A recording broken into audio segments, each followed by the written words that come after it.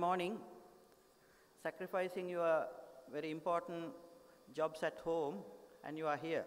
I strongly, warmly welcome you all to the second day sessions. And I hope we have uh, arranged a very interesting educative program, and I kindly welcome you all to stay the, till the end because some interesting sessions are there at the end. The ECG quiz, atrial fibrillation, imaging guidance, all very important topics in the afternoon. Please uh, stay till the end, and there are some competitions, quiz competitions, some prize givings, everything will be there, and you are eligible for the prizes only if you are available inside the physically available. So I think uh, you should be here to get the prizes, and some of them are surprising prizes. I hope uh, you all be here. So to start today's proceeding, uh, the lecture, the first lecture is on diabetes. Uh, it's a diabetes, what is new for clinical cardiologist? Uh, I call upon uh, the chairpersons, uh, Dr. Nimali Fernando and Dr. Namal Vijayasinghe to chair the session and conduct the proceedings.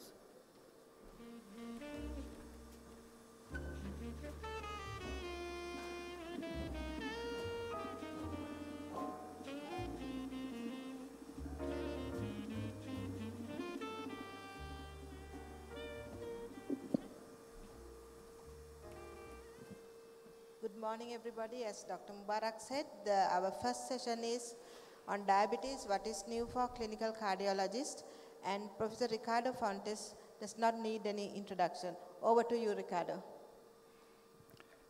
Thank you very much. Uh, first of all, good morning to everybody.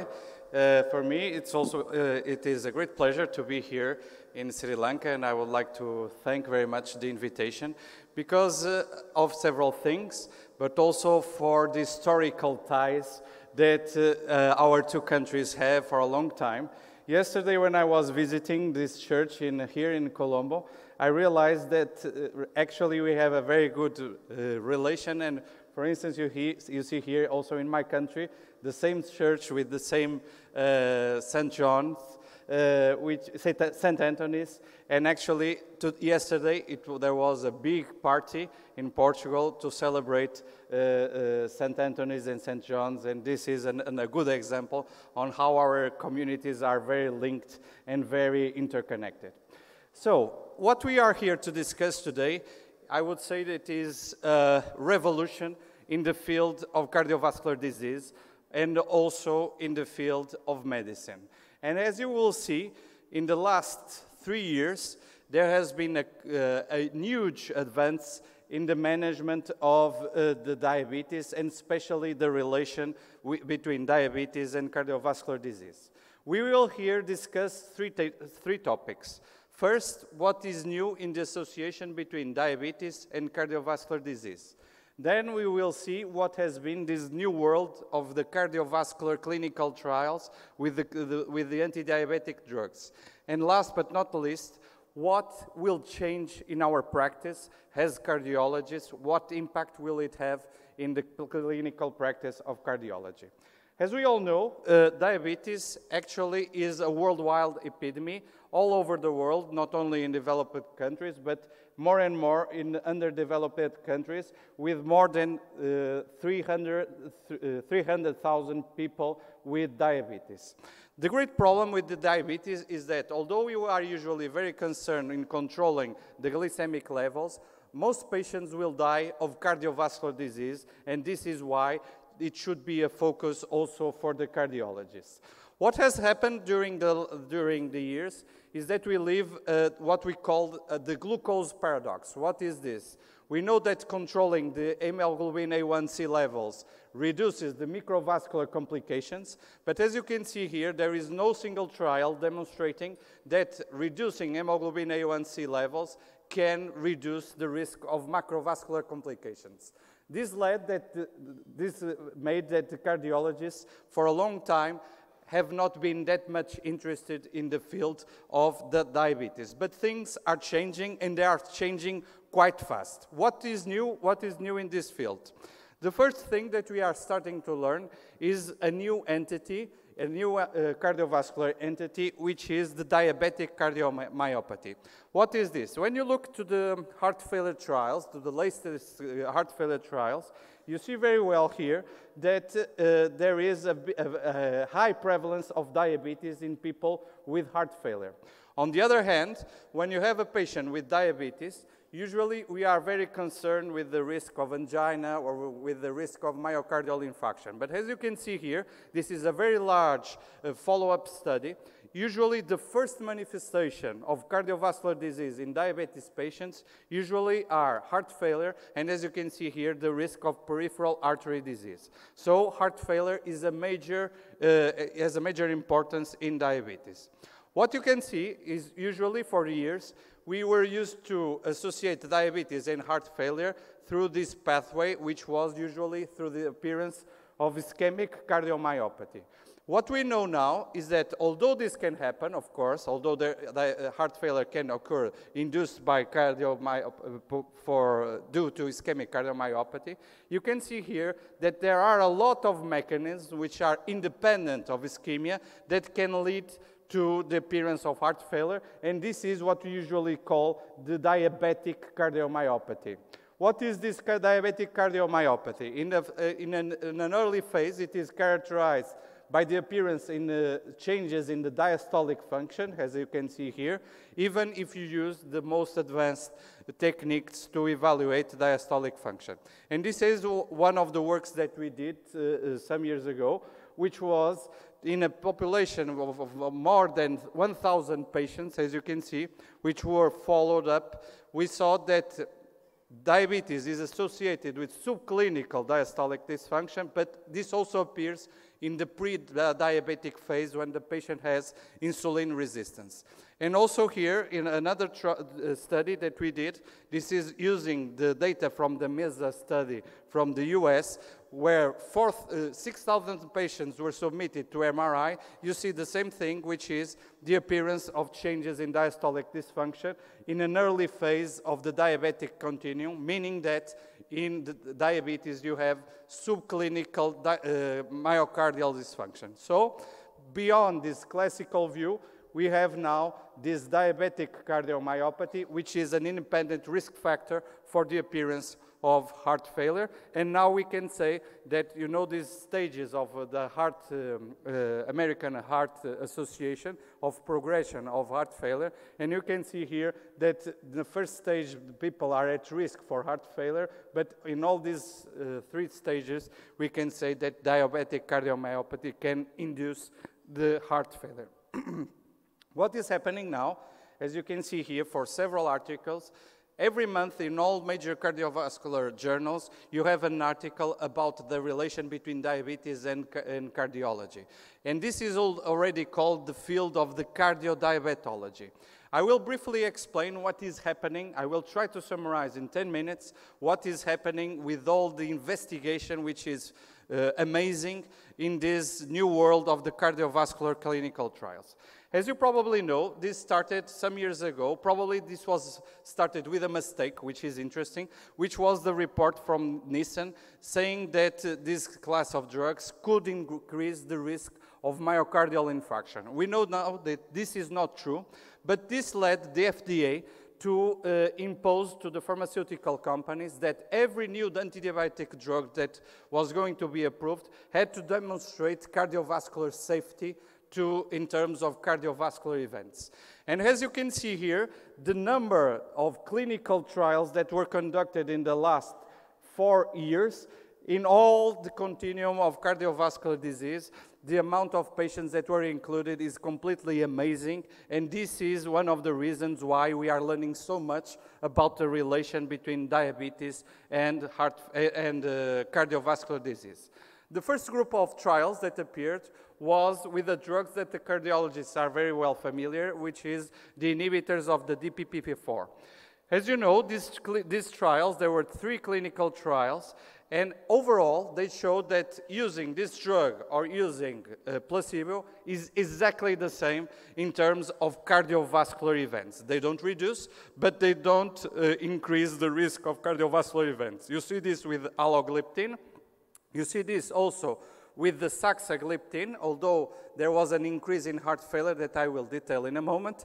And also with sitagliptin, there were all, as you can see, very similar in terms of the risk of cardiovascular events. So to summarize in one slide the, the results of these trials, you can see it either ha has a, a, half full or half uh, empty glass, which is the diabetic, the, the, the endocrinologist will see it as half full because they have a drug to use which does not increase the risk of cardiovascular events.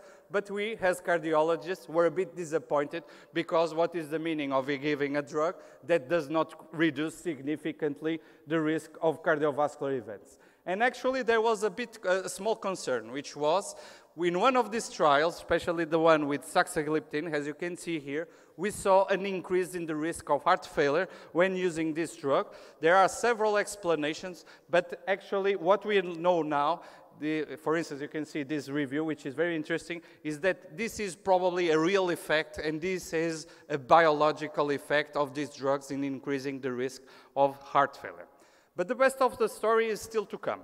And the best of the story started with the, the use of this new class of anti-diabetic drugs, which inhibits the SGLT2 uh, receptor, so the patient will uh, lose glucose in, uh, in urine. This was one, the first trial uh, that was conducted, the EMPA-REGS trial with one of these drugs, empagliflozin. And this is the typical cardiovascular uh, clinical trial. It, can be, it could be used, for instance, to test an antiplatelet agent. It could be uh, to, used to test an, an anti-drug uh, for, to treat dyslipidemia. And as you can see, these were the inclusion criteria, patients with established cardiovascular disease. Patients were randomized to placebo or either the lower dose of empagliflozin or a high dose of empagliflozin. And what was amazing was to see what happened in terms of cardiovascular events. At the beginning, they were trying to test if they were safe, these drugs were safe, but actually what they demonstrated is a, a significant reduction in the risk of cardiovascular events. As you can see, a huge decrease in cardiovascular mortality, a reduction in total mortality, and a reduction of heart failure. As you can see, there is a very early separation of the survival curves, and the absolute risk reduction, as you can see, is also very significant because you have a number needed to treat of only 45 to reduce cardiovascular mortality. And also what happened in terms of heart failure hospitalization was a major decrease in the risk of cardiovascular events. And again, regarding total mortality, if the patient dies or not using one of these drugs, there is a major decrease in the risk of total mortality. What can you see here in this slide is, is that if you want to induce cardiovascular protection, you only need the 10 milligrams dose because increasing the dose, it can improve the control of the glycemic levels, but in terms of cardiovascular protection, does not give you an additional benefit. What happened also in terms of renal endpoints was the same. We can say now that beyond cardioprotection, this new class of drugs can induce nephroprotection because you have a, a reduction in the renal endpoints. There are several important things that we can discuss.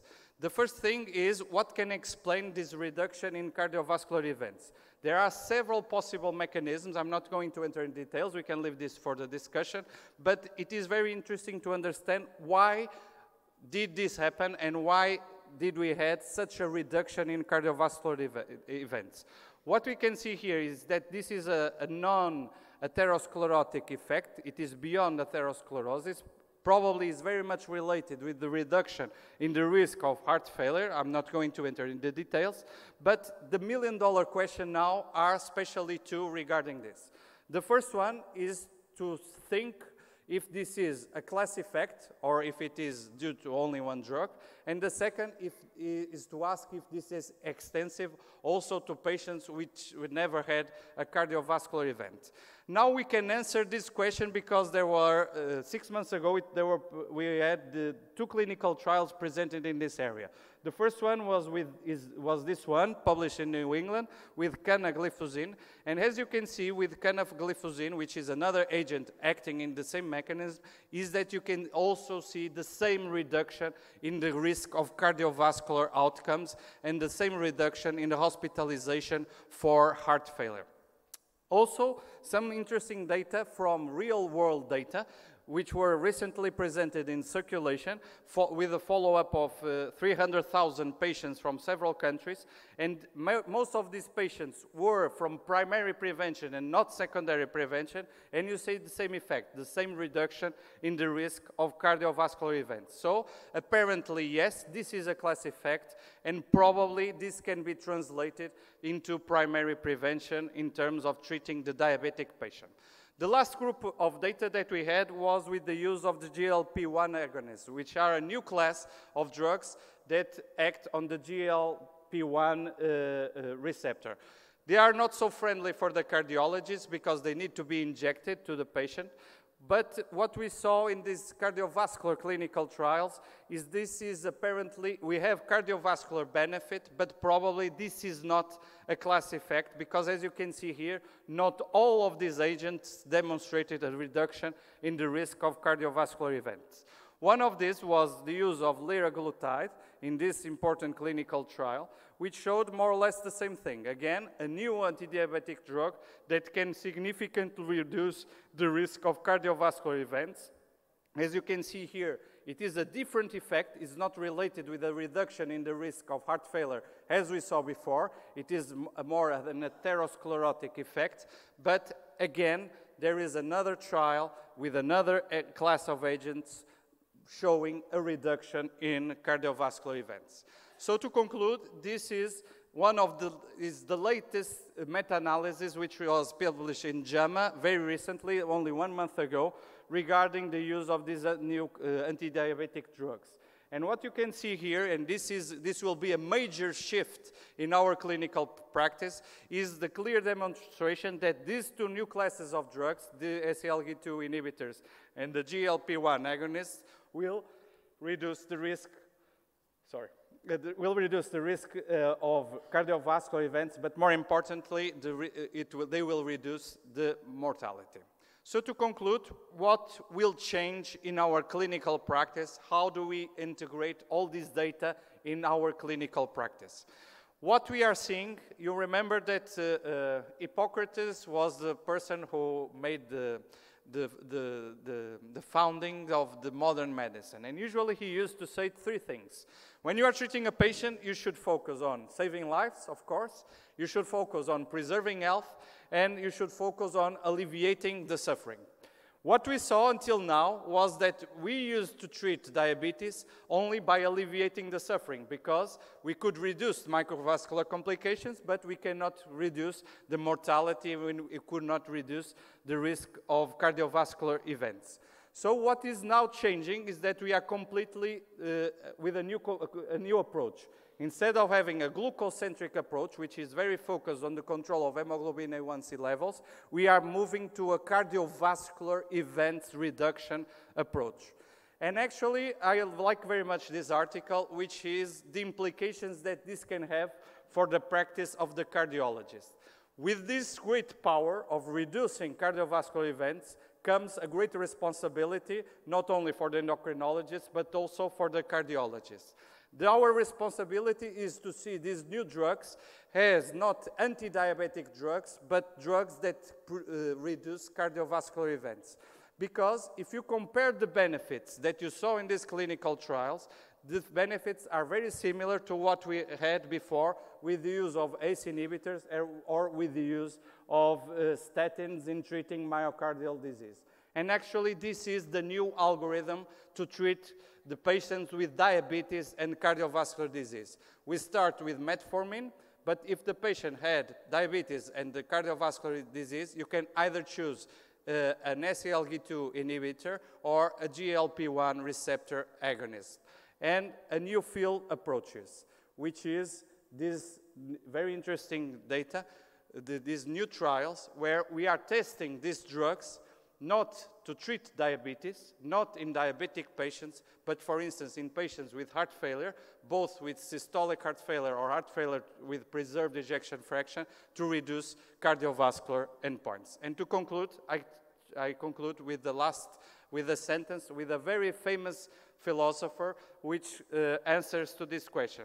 if for those who still doubt that we are changing, that we are facing a new paradigm in diabetes treatment, I think, as he usually said, this is a very famous sentence, we have all to start listening to this new music that is playing in this cardiodiabetology field. So thank you very much for your attention.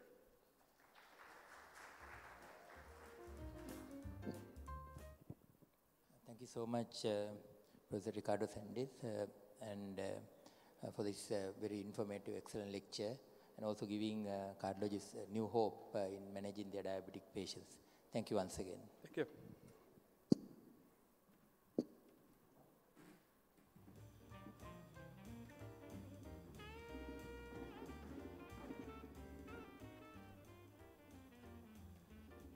Thank you, sir, and thank you, chairpersons. Next on our agenda, we are going to move on to the lecture on coronary artery surgery, present to future, by Dr. M. Munasinghe. And I invite Dr. A. Yoganathamurthy and Dr. Disna Amaratunga to chair the session.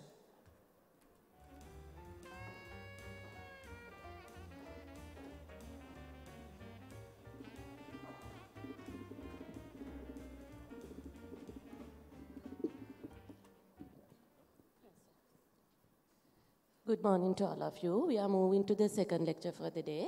So let me invite Dr. Mahendra Munasinghe, an eminent cardiothoracic surgeon, to take you to the horizon of coronary artery surgeries from present to the future. Over to you, sir. Thank you, Desna. A very good morning to all of you.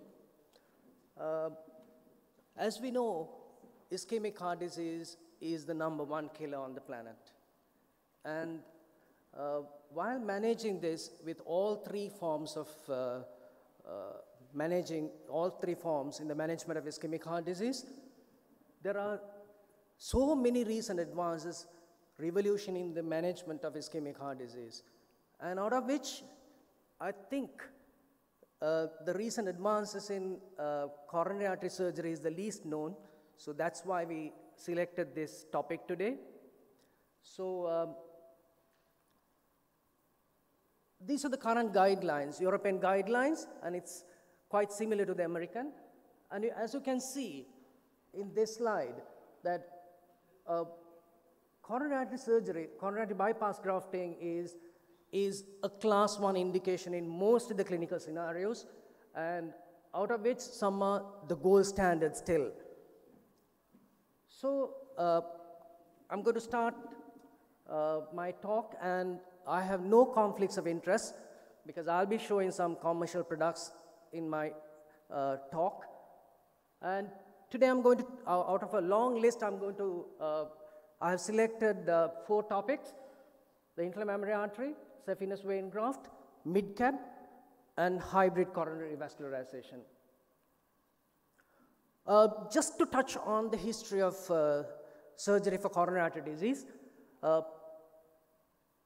you know, until the middle of last century, people tried lots of weird things, uh, hoping that collaterals will develop into the ischemic myocardium. None of these things worked. But in 1946, a surgeon called Arthur Vineberg, uh, he harvested the internal mammary artery and buried it in the myocardium, uh, hoping that the collaterals will develop. That also didn't work. But in 1964, in February 1964, uh, a Russian surgeon called Vasily Kolesov, he harvested the internal mammary artery and actually anastomosed it to the uh, LAD, the Lima to LAD with a running stitch, which, uh, which, is, which has completely revolutionized the management of ischemic heart disease. And a few months after that, one of the greatest surgeons, cardiac surgeons of all time, Michael DeBakey, he, he anastomosed, uh, took a piece of vein from the leg and used it as a, as a, as a, as a bypass graft, and that took off. And, and coronary artery uh, bypass grafting became very popular. And after, uh, after that, now more than a million uh, coronary artery bypass graftings or CABGs are done in the world today. And what this man did in 1964 was such an important event. I will tell you as, as I go on. The- as you know, the internal mammary artery is a branch of the first part of the subclavian artery, and we harvest it with a, with a, with a pedicle and disconnect it at the bottom end and use it as a graft and anastomose it to the LAD. But it didn't, it didn't take off until 1986. A surgeon called Loop, he noticed that his patients who had an IMA graft, Lima to LAD graft, that, he, that they did, the patients did much better than the ones we had, uh, once you had, uh, had, had a vein grafts. So he tried to publish his paper, it was rejected repeatedly, but luckily it appeared in the New England Journal of Medicine in 1986. And after that, that became so popular. The Lima to LAD graft is a standard for every patient who undergoes uh, CABG now. Why is such an important thing? Simple. It's, it's, it lasts long. It, it, it, the patency rate, the 20 year patency rate is more than 90%. It relieves symptoms, reduces the major adverse coronary and cerebrovascular events, reduces the need for repeat revascularization, and most importantly, improves long term survival. As you can see in this graph, after that initial dip at the early graft failure, the, the, the lima or the internal mammary artery gets stabilized and goes on and on and on while the vein graft patency goes down every year. How does this happen?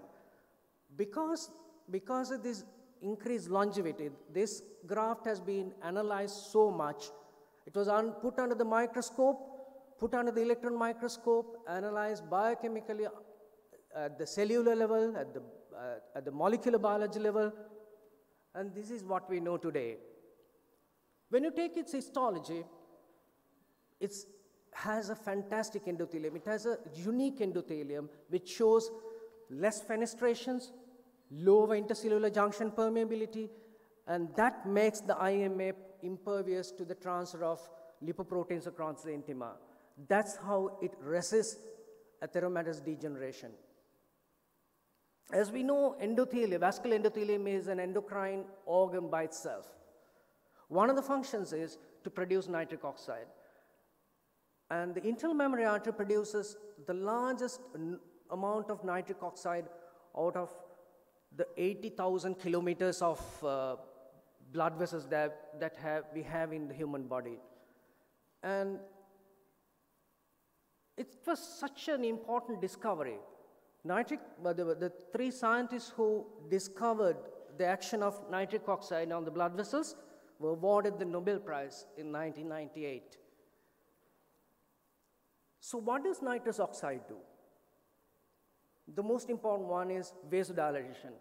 It signals the smooth muscle cells in the media to relax and dilates the vessels.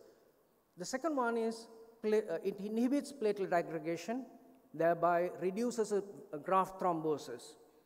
The other ones, it reduces inflammation on the endothelium, it reduces monocyte adhesion, reduces smooth muscle cell proliferation, inhibits superoxide radical elaboration and LDL oxidation.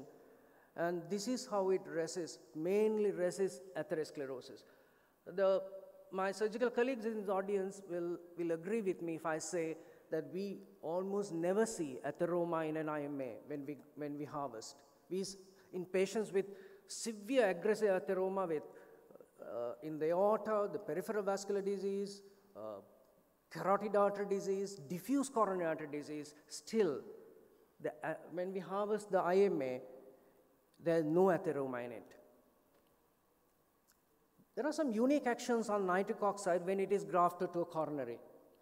It preserves normal vasomotor coronary physiology, it dilates the coronary arteries branches, improves myocardial perfusion, makes existing, existing plaques regress.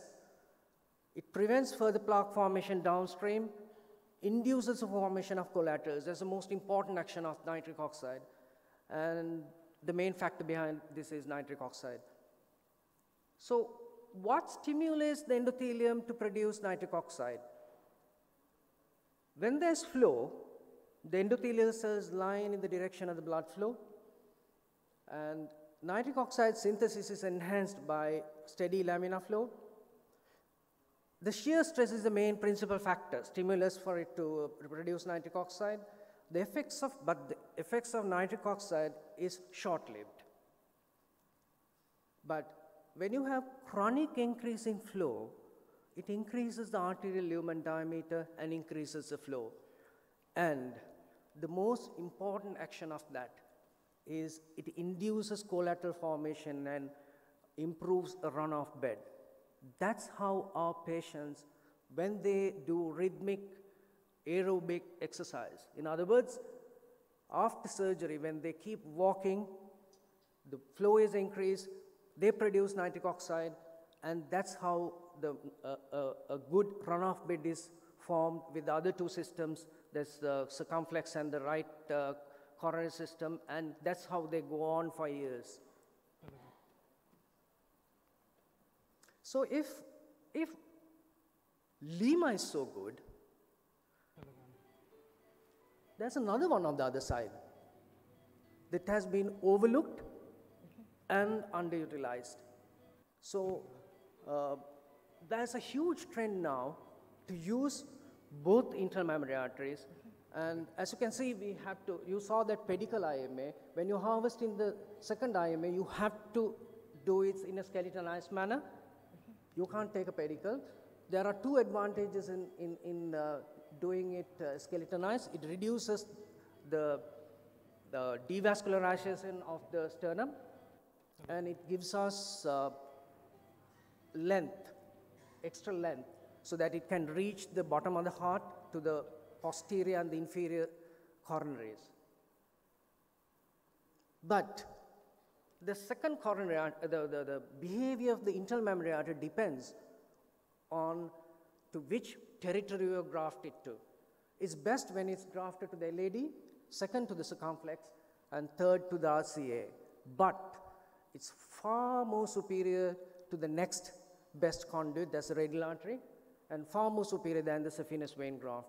So, in the recent years, there are so many publications, so much of observational studies, meta-analyses, randomized trials appearing on every single journal and shows the advantage of the second internal mammary artery use. I have no time to go to all these, and uh, I selected this one, which appeared, uh, this article appeared in uh, October 2017 in circulation, and I will read that bottom line for you. Quote, conclusions. BIMA grafting was associated with a reduced risk of repeat revascularization and improvement in long-term survival and should be considered more frequently during coronary bypass grafting. How do we do it?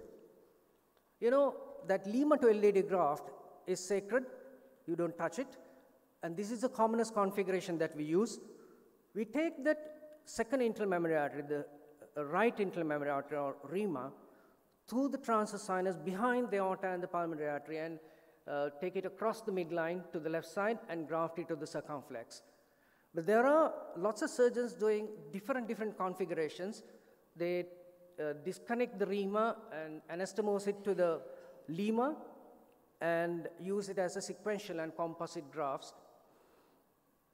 And that can actually reach almost the round the heart to the RCA. And there are surgeons who are doing it even here.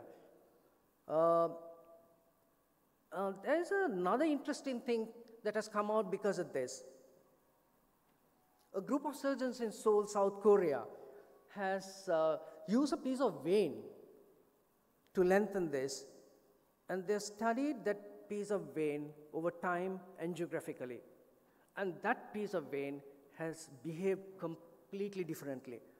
It has behaved like angiographically, it has resisted atherosclerosis, resisted neointimal hyperplasia, and uh, that's a very exciting thing because it has almost like uh, the vein has been arterialized, probably because of the nitric oxide that is coming downstream.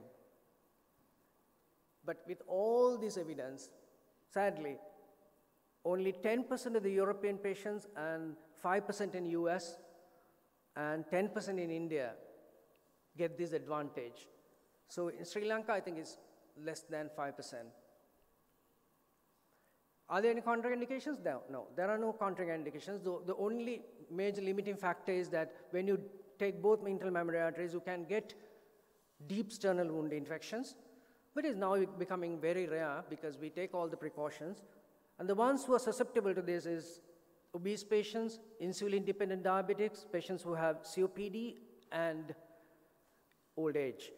So I highlighted this insulin-dependent diabetics. As we all know, uh, diabetes is a vascular disease. They have endo endothelial dysfunction. They have aggressive atherosclerosis. And they are the very people who will benefit most from bilateral IMA grafting. Who is this? There are lots of people trying to make things great again these days. So our surgeons decided to make our vein grafts great again. Why? Because this is the commonest art, uh, coronary artery conduit that we use for CABG. And that's the biggest problem, long-term problem of CABG.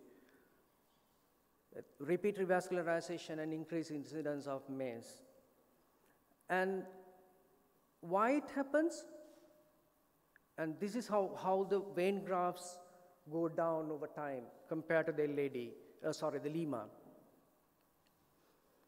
Uh, why will the vein grafts fail has been analyzed like the IMA to improve on ourselves and, and we have found how it fails. Obviously, you can argue that the vein, veins are not designed by nature to carry aortic pressures. But we have, people have analyzed this, and this is what we know. Obviously, as soon as you graft it to the aorta and release the clamp, the aortic pressures are transmitted to the vein, and immediately the vein dilates. After some time, after months or the, in the first or the second year, the intimal, there's intimal thickening in the uh, with concentric layers of smooth muscle in it, and it undergoes atheromatous degeneration. It causes stenosis and graft, graft occlusion. And what we have found is that this first one, the first, uh, the, the, sorry, the second and the third ones are directly dependent on what happens in the first. So still just that affect the the vein grafts is that harvesting, when we are testing it, when we are storing it from, from, from harvesting to, to, uh, to grafting, storage, the target vessel obviously, when we're grafting it, and short-term and long-term care. In the long-term care, the high dose statins have helped this vein graft so much for its longevity, and uh, and studies have shown when you keep the LDL levels less than 70, it really helps to increase the longevity of the vein grafts. So for, to overcome this dilatation, an external stent has been ha introduced, it is available commercially. And what we know is that vein, veins are not uniform like arteries. It's, it doesn't have a smooth contour. When there's turbulence in this, that is exactly where the neointimal hyperplasia and atheroma is accelerated. So this device, it's a titanium mesh that you put, a tube that you put around the vein that pushes the, uh, the vein against this vest and makes it smooth flow. And you can see the one on the, uh, uh, on the top Left, uh, you can see the one without the vest and below the vest, uh, with the vest. And there's so much of studies going on about this uh, device. It's commercially available, if FDA approved. And uh, there's a lot of studies done about the storage solution, mainly done at the Stanford University. And it shows the storage solution affects the endothelial function. And for that, uh, a, a solution has been introduced and it is commercially available, it is widely used and it shows a lot of promise and is available to us in Sri Lanka now. It's got NMRA registration. The only limiting factor is the cost. It costs about 60,000 rupees per patient. Out of, out of the uh, things that we use for the vein graft, this shows the most amount of promise. As I said earlier, harvesting affects the way you harvest the vein affects the longevity of the vein. The, if you damage the intima, if you rough on the vein, if you push and pull and dissect the vein, that affects the, uh, the, the vein graft patency. So as the name implies, we don't, the, in this technique, we don't go anywhere near the vein. We take it with a pedicle, with a sheath around it, and that has shown to increase the vein graft patency. And a lot of studies have shown that it really helps to increase the patency. And microscopically also, it shows that it does uh, reduce the endothelial damage. It uh, reduces the trauma and mechanical damage, prevents overdistension, reduces the initial overdistension, preserves the smooth muscle contour, reduces smooth muscle activation, acts as an external stent, preserves vasa vasorum, preserves vasomotor nerves, and it prevents kinking. That really helps the vein. Endoscopic harvesting has gone out of fashion now because, as I said earlier, this causes damage or trauma to the vein. Uh, minimal invasive direct coronary bypass is addressing one of the, the, if not the biggest criticism of uh, CABG because it's a, it's a big uh, operation, traumatic operation. And it is done with a small incision on the left chest, on the fourth intercostal space, is done on, uh, on um, um, off-pump technique. And there are lots of advantages uh, for this, but uh, it's mainly helpful in patients with single vessel disease with isolated LAD lesion. Hybrid, this is a new technique that we are using now, which it gives our patients the, the advantage of Lima to LAD graft and the minimal invasiveness of PCI. And uh, is best done for Lima to LAD lesions and an unisolated lesion on the, on the other two systems. And it can be done in three ways. Uh, simultaneously, cardiologist, uh, interventional cardiologist and the surgeon in, the, in a hybrid operating theater. And uh, it can be done uh, in stages, MIDCAB first and the PCI second, and PCI first and MIDCAB second. And to conclude, I would like to show this picture. Surgeons and interventional cardiologists working together. And out of all the scientific advancements that's changing our practice, I think this is something new, not new, but, but is improved cooperation between non-interventional, interventional cardiologists and the surgeons. And that helps to achieve our goals. One, to save lives. Two, to relieve symptoms and improve their quality of life. And the most importantly, to make them live longer. Thank you very much for your attention.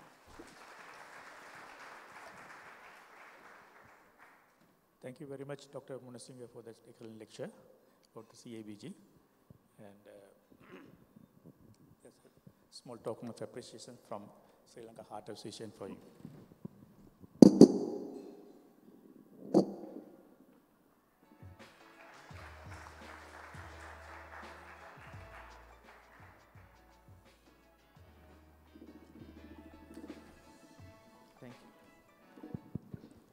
Thank you, sir. And next will be a symposium on heart failure. We invite Dr. Prakash Priyadarshan and Dr. Suresh Kotegoda to chair the session.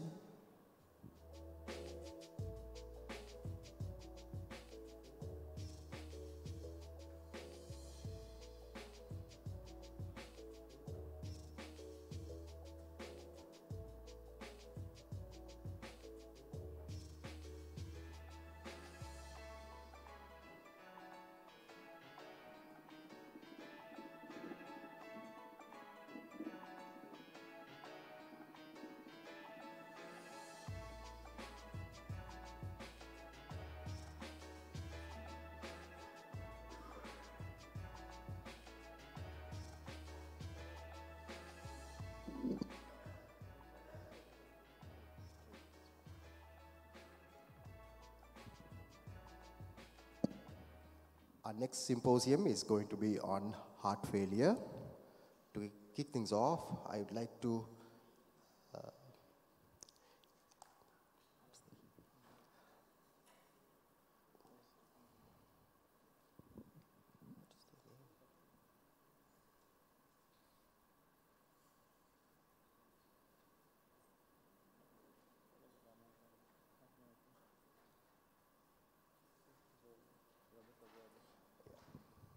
I'd like to invite Dr. Robert Gerber.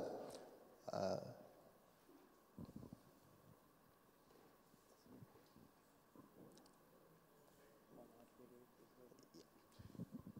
to tell us about heart failure with preserved ejection fraction. Over to you, Dr. Gerber. Okay, thank you very much. Good morning, everyone. Uh, once again, I'm delighted to be invited here today, the 18th uh, annual symposium in Colombo.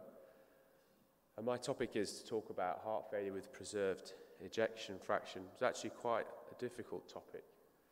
And the reason I show this is that these patients are actually on the, on the, uh, on the edge. Um, for some time, we've focused on patients with low ejection fraction.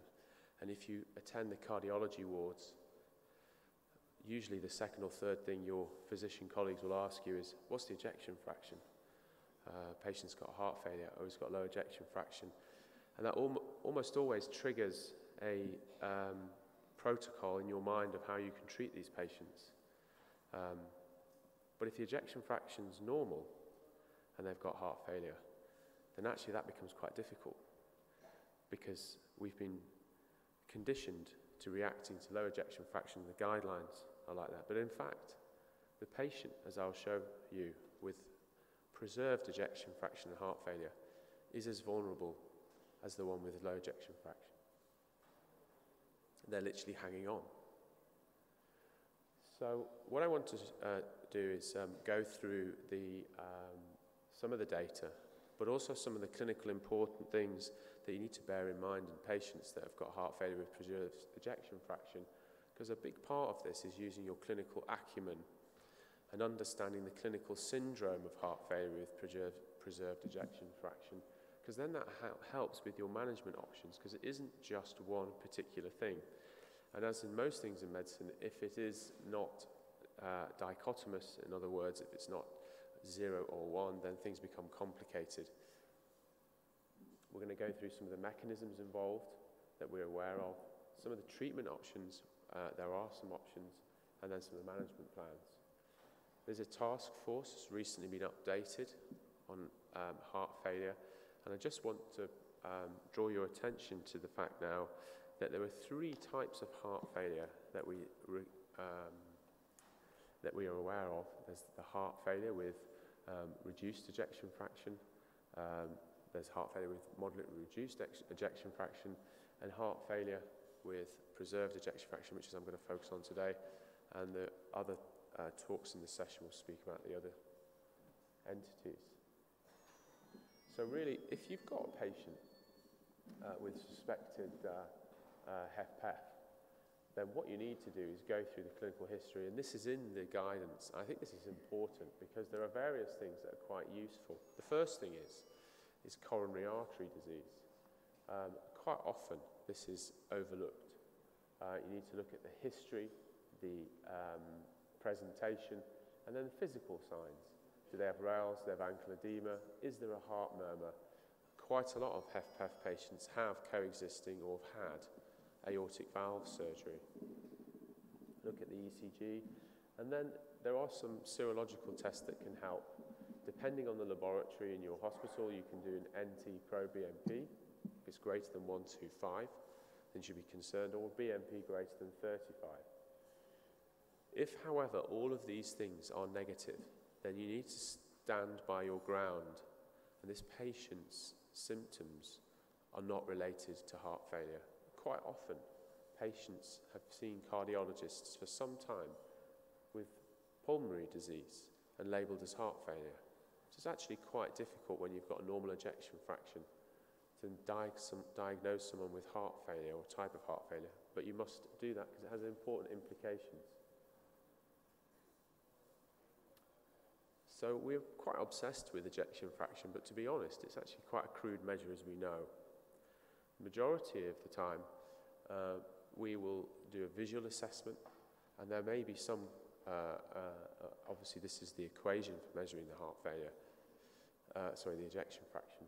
If you look at the uh, healthy subjects, um, this was the Heart of England screening test, you will see that patients that don't even have symptoms do have evidence of uh, reduced ejection fraction. I think what, you, what is clear from this is that patients, as they get older, tend to have worsening heart function. The other thing is, is there's a, a difference in the gender. Um, the dark bars represent men of various ages, and uh, sorry, uh, left ventricular ejection fraction, and the and the grey bars are women. And I think you can clearly see there is a bimodal distribution with a shift um, to the right for ladies.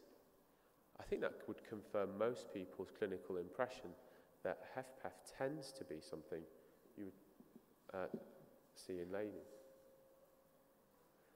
So, going back to the three classifications, you get cardiac structural remodeling. We'll, we'll talk a little bit about the echocardiographic uh, um, indices, associated left atrial dilatation, and so consequently we do see um, some atrial fibrillation and left ventricular hypertrophy. And then you have this sort of functional diastolic dysfunction that we talk about as a raised E over E prime that I'm sure most of you are aware of. So if you look at the heart, um, the top panel really is something that, uh, if, you, if you look at the LV pressures in a normal heart, reduced and increases. And with impaired relaxation, there's a problem in the, um, the ability for the heart in diastole, and you see a lengthening of the uh, IVRT. This then with time, as the heart gets stiffer and relaxes less, increases, and you see in the mitral inflow the E wave starting to increase. And in fact, you can get this pseudo-normal picture. So quite often my registrars will say, oh, well, look, the mitral inflow Doppler looks fine. But actually it's not. It's because the heart has gone from the impaired relaxation phase where the E over E prime is lower to a pseudo-normal phase. If you don't treat early, then this progresses and you see this sort of restrictive filling pattern. Actually, tissue Doppler is very helpful for this because you can look at a peak systolic wave, which is the SM, and then an E over A. And as you see from uh, these lines, as the E wave increases from the mitral inflow Doppler, uh, the E uh, decreases. And so actually you get an increase in this value. I'll show you some of the figures um, that you should be looking for. And again, this is in the guidelines, so you can get this table and essentially, if you have a ratio of greater than 8 or 10, depending on where you're measuring it, then you can fairly confidently, with the clinical picture, diagnose diastolic failure or HFpEF.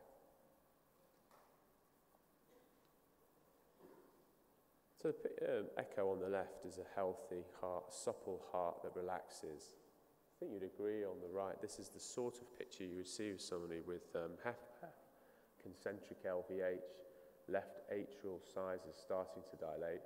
And really, visually, you can see that the heart doesn't relax as well. What about the pathophysiology?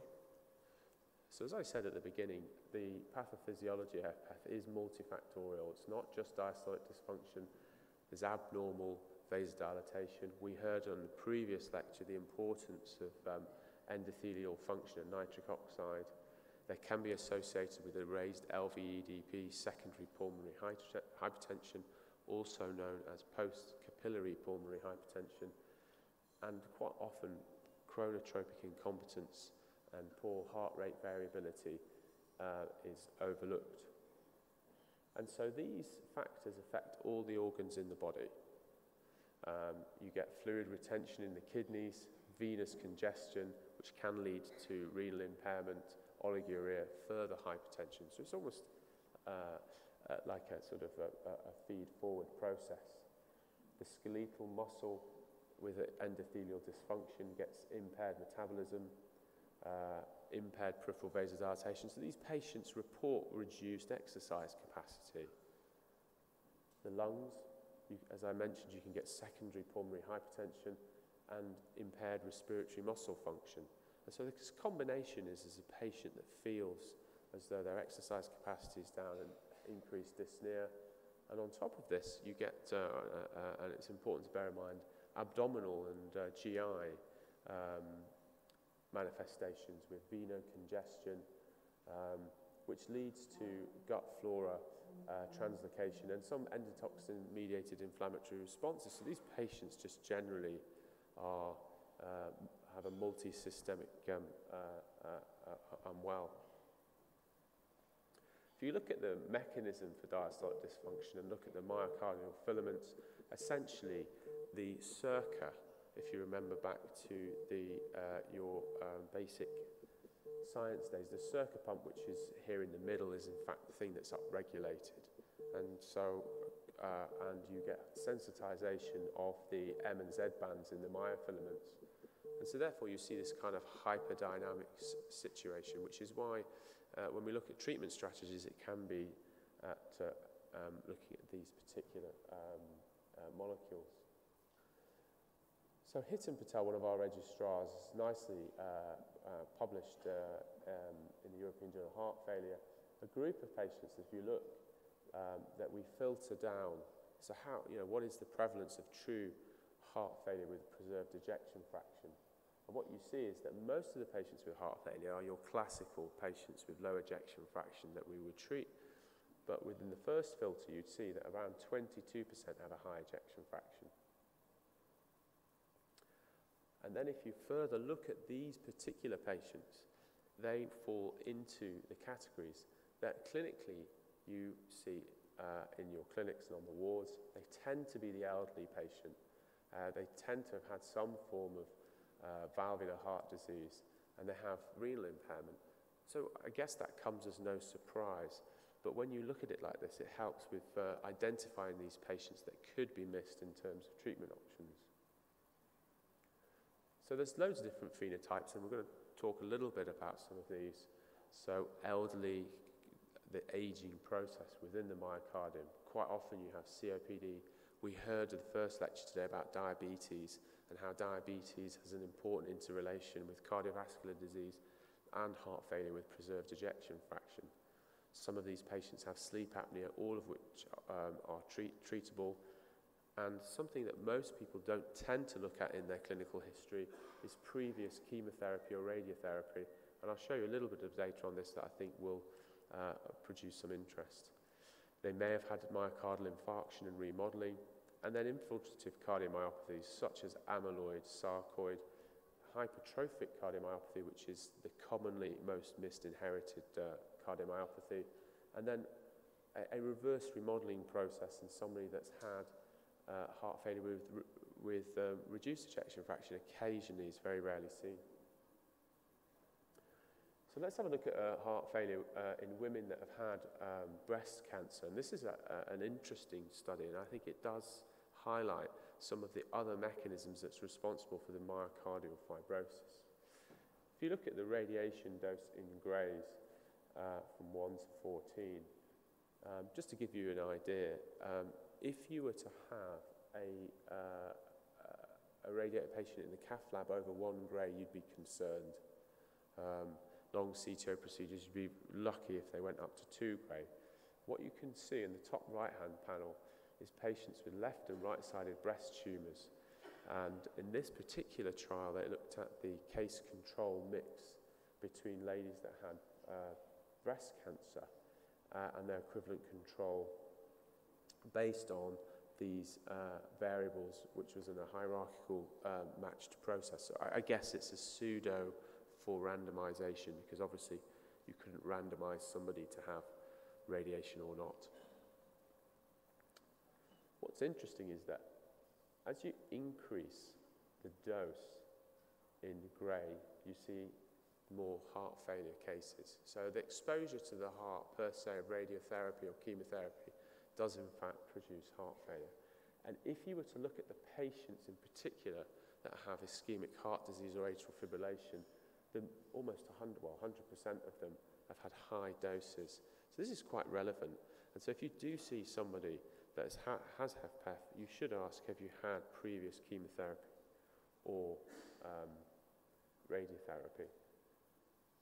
So the last five minutes, I'm just going to talk about how we should treat this. Um, there are a whole load of trials, and uh, I'm not really going to go um, in detail to talk about each one. But the bottom line is, when you look at the Fisher plot for most of the studies, they're slightly disappointing in the fact that they all tend to cross unity.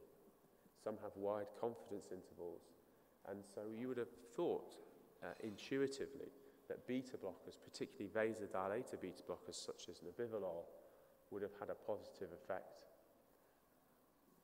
Similarly, aldosterone antagonists you would have hoped would have produced some benefit, and our usual ARB ACE combination inhibiting the RAS system you would have also hoped would have, would have helped the uh, uh, treatment here, but unfortunately, none of these trials have been positive. And sildenafil, uh, in the RELAX trial, you would have thought, yes, maybe even that would have caused some benefit, but it doesn't. So, why is that? Well, actually, it's because of various things. As you saw from the filter diagram, it's very difficult to actually recruit these patients. And so, quite a lot of these patients actually had more the kind of moderate ejection fraction.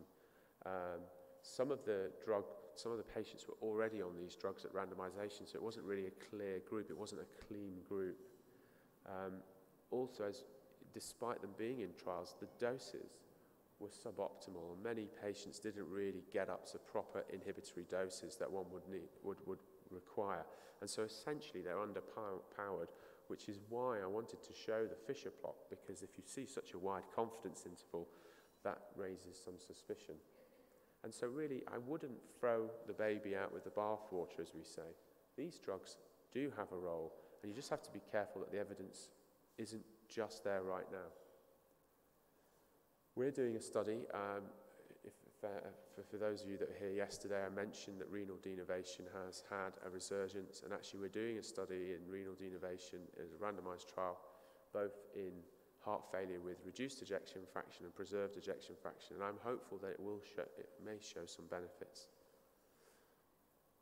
There is some light at the end of the tunnel. Um, there is, a, there is um, um, slowing the heart rate down, as you would have thought, uh, would have a benefit, beneficial effect. And in fact, the use of ivabradine at reasonably high dose did have a, uh, a significant uh, outcome. And so the recommendations really are that patients should be screened. Uh, this is from the European guidelines. And that the treatment of choice, which is a 1B, is diuretics. So it's not so easy. You know, where is X? Here it is. Well, not really. You know, just because you've got a patient with uh, HFpEF, oh, it's due to hypertension. It's not necessarily the case, and I think I've demonstrated that you need to um, exclude all the options. What else do we have? Spironolactone, I mentioned in the TOPCAT trial. It's a reasonable large number of patients with a target dose of 30 versus placebo, and the primary endpoint of CV mortality, aborted cardiac arrest, and hospitalization, hospitalization didn't show any difference. Um, but the patients that had high markers, uh, so serum BNP, benefited the most. And I think this is something that you need to look at in these trials, to look at the subgroups um, that would get benefit and tailor that to your clinical practice. Also, there was a large amount of geographical variation in this trial in TOPCAT. Um, two thirds of the uh, uh, patients in the US were enrolled on BNP, whereas in Russia, they were involved, uh, they, they weren't involved, uh, enrolled on a BNP. Uh, and so therefore that confuses really what we see in the results. These are the sort of patients that you will see that you should be aware of. So elderly patients that are female, that have dyslipidemia, dyslipidemia, hypertension and diabetes. And you can see the p-values compared to the other categories are quite significant. So, how do you treat hypertension in the elderly? Remember when we were at medical school, we were told that you can have a systolic of 120 plus your age. We know that's a nonsense. Um, and so, actually, what you should be doing is aggressively treating these elderly patients, mainly with indapamide and perindopril. And you can see significant benefit using both agents. We also heard a lecture yesterday about ACE inhibitors. Uh, I, put, I put this slide in just to show that ACE inhibitors, the panel on the left, uh, if you, if the, has an overall net benefit that isn't as well manifest with ARBs. So if you do want to treat somebody, then go with the evidence. ACE is the first, it's cheaper. If it's tolerated, stick with it. So we do have some benefits there. We heard about using the uh, in diabetics, and there was a benefit in, the, uh, in its use in diabetics in reducing heart failure admissions. And so in the guidelines, it, it does come in as a 2AB recommendation. So if you've got diabetes, then we do have some treatment options. What about the CHARM studies? Remember all the CHARM studies uh, using candesartan and just to move on, unfortunately, candesartan didn't show any benefit. Uh, it did in the other forms of heart failure. So, just to finish, um, treat the patient clinically, use diuretics. Spironolactone, I think, with BNP elevation, is, does have some use. Don't forget to use indapamide in the elderly. ACE inhibitors preferable for me based on the HIAP trial and then empagliflozin for diabetics. Look for chronotropic incompetence with tapes, exclude ischemia, and target your comorbidities. So it isn't one disease, and I think I've shown you today that there are several things that you can do to help your patients. Uh, uh, and um, if, you, if you target disease-specific strategies, um, then uh, you can get good outcomes. Thank you. Uh, thank you, Dr. Gerber, for this uh, excellent presentation. Uh, due to the sake of time, we keep the question time as the end of the symposium. Uh, so we'd like to call upon the next speaker, uh, Professor Andrew Boyle. His topic is heart failure with uh, reduced ejection fraction.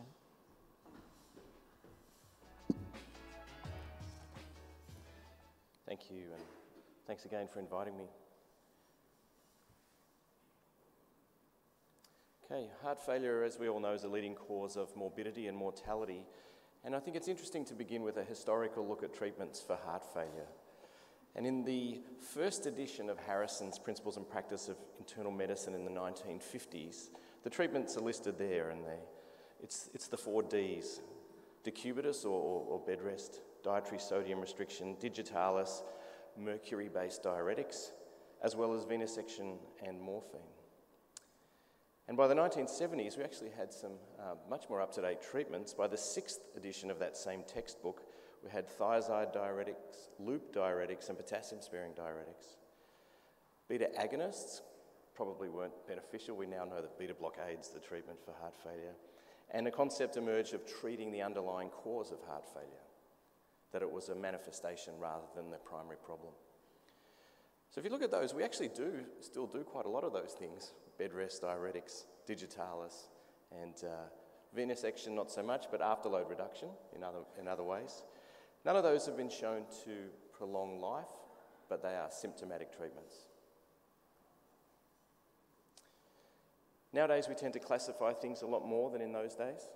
The ACC AHA staging is an is a, is a important framework to be thinking about heart failure, where Stage A is patients at risk for developing heart failure, patients with hypertension, coronary disease, diabetes, and those sorts of things. Stage B is asymptomatic LV dysfunction, and that may be from previous myocardial infarction or valvular disease. Stage C is symptomatic heart failure with LV impairments, and stage D is refractory end stage heart failure. And if you look along the right of this image, the Olmsted County study from Minnesota looked at adults over the age of 45 years, and you'll see that an established diagnosis of heart failure was about 12%. But the majority of patients are in stage A or B, meaning they're at risk of heart failure or they have asymptomatic LV dysfunction already, which is, which is quite alarming for those of us in that age bracket. Uh, and, and normals were, were just under a third of the population, the adult population. In parallel with the staging, there's the symptomatic classification that you all know, New York Heart Association class 1 through 4, which is important in monitoring patients. And we're seeing a real change in the pattern of disease uh, from the last century now, with coronary artery disease incidence and death rates falling, but heart failure incidence is increasing in many countries. We know the survival is terrible with advanced heart failure, so patients in New York Heart Association functional class 4 have a prognosis akin to disseminate, many disseminated cancers. Now, in heart failure, there are several compensatory mechanisms which the heart and the rest of the body um, produce to try and improve uh, cardiac function. The first is the Frank Starling mechanism, and that relates to stretch of a myocyte. And when you stretch muscle, it contracts more vigorously. And we extrapolate that up to the organ level in the heart. You'll notice in that figure, when you load the ventricle, i.e., increase end diastolic volume along the x axis, you get an increase in stroke volume on the y axis. But only up to a certain point, and there's an inflection point for everybody where the heart no longer is able to increase contractility and it starts to fail. Myocardial hypertrophy is an attempt for the heart to prevent this remodeling and dilatation. So, cardiomyocytes hypertrophy to prevent um, dilatation. And if we go back to the physics of this, and I promise only one slide on physics, the law of Laplace dictates that left ventricular wall stress is dependent on the pressure within the ventricle and the size of the ventricle or the radius, and it's inversely proportional to the wall thickness. So that's the only formula I'll show. But if you think about that, increasing the wall thickness will reduce the wall stress, and reducing the volume and the pressure in the ventricle will also reduce the wall stress. Now, wall stress not only drives the ventricle to structural remodeling and dilatation, but it also increases the tension in the myocardium and reduces blood flow, rendering the myocardium ischemic and dysfunctional and increasing the end diastolic pressure further. So it's a vicious cycle, like many things in cardiology. Outside the heart, the rest of the body also creates vicious cycles to compensate for cardiac dysfunction. Decreased cardiac output is seen by the kidneys as reduced renal perfusion, which stimulates the release of renin and stimulation of the renin angiotensin aldosterone system, which causes sodium and water retention, vasoconstriction, all of which worsen cardiac function. So this is where most of our therapies for HFrEF um, occur. So if we think about this through the stages that I mentioned of the um, ACC AHA staging system for heart failure, it'll tell us an approach to patients within those stages. So we go through stage A, B, C, and D. Stage B and C may be asymptomatic or start to develop symptoms in stage C and symptoms at rest in stage D. Okay, so let's talk about treatment. Stage A is patients at risk. These are patients with hypertension, atherosclerosis, diabetes, and all the risk factors that we know about. So, what can we do? In stage A, it's risk factor modification. So, treat blood pressure, get patients to lose weight, optimize diabetes, avoid cardiotoxins like alcohol, um, and you may want to screen patients at this stage if they're at very high risk with a BNP or an echo.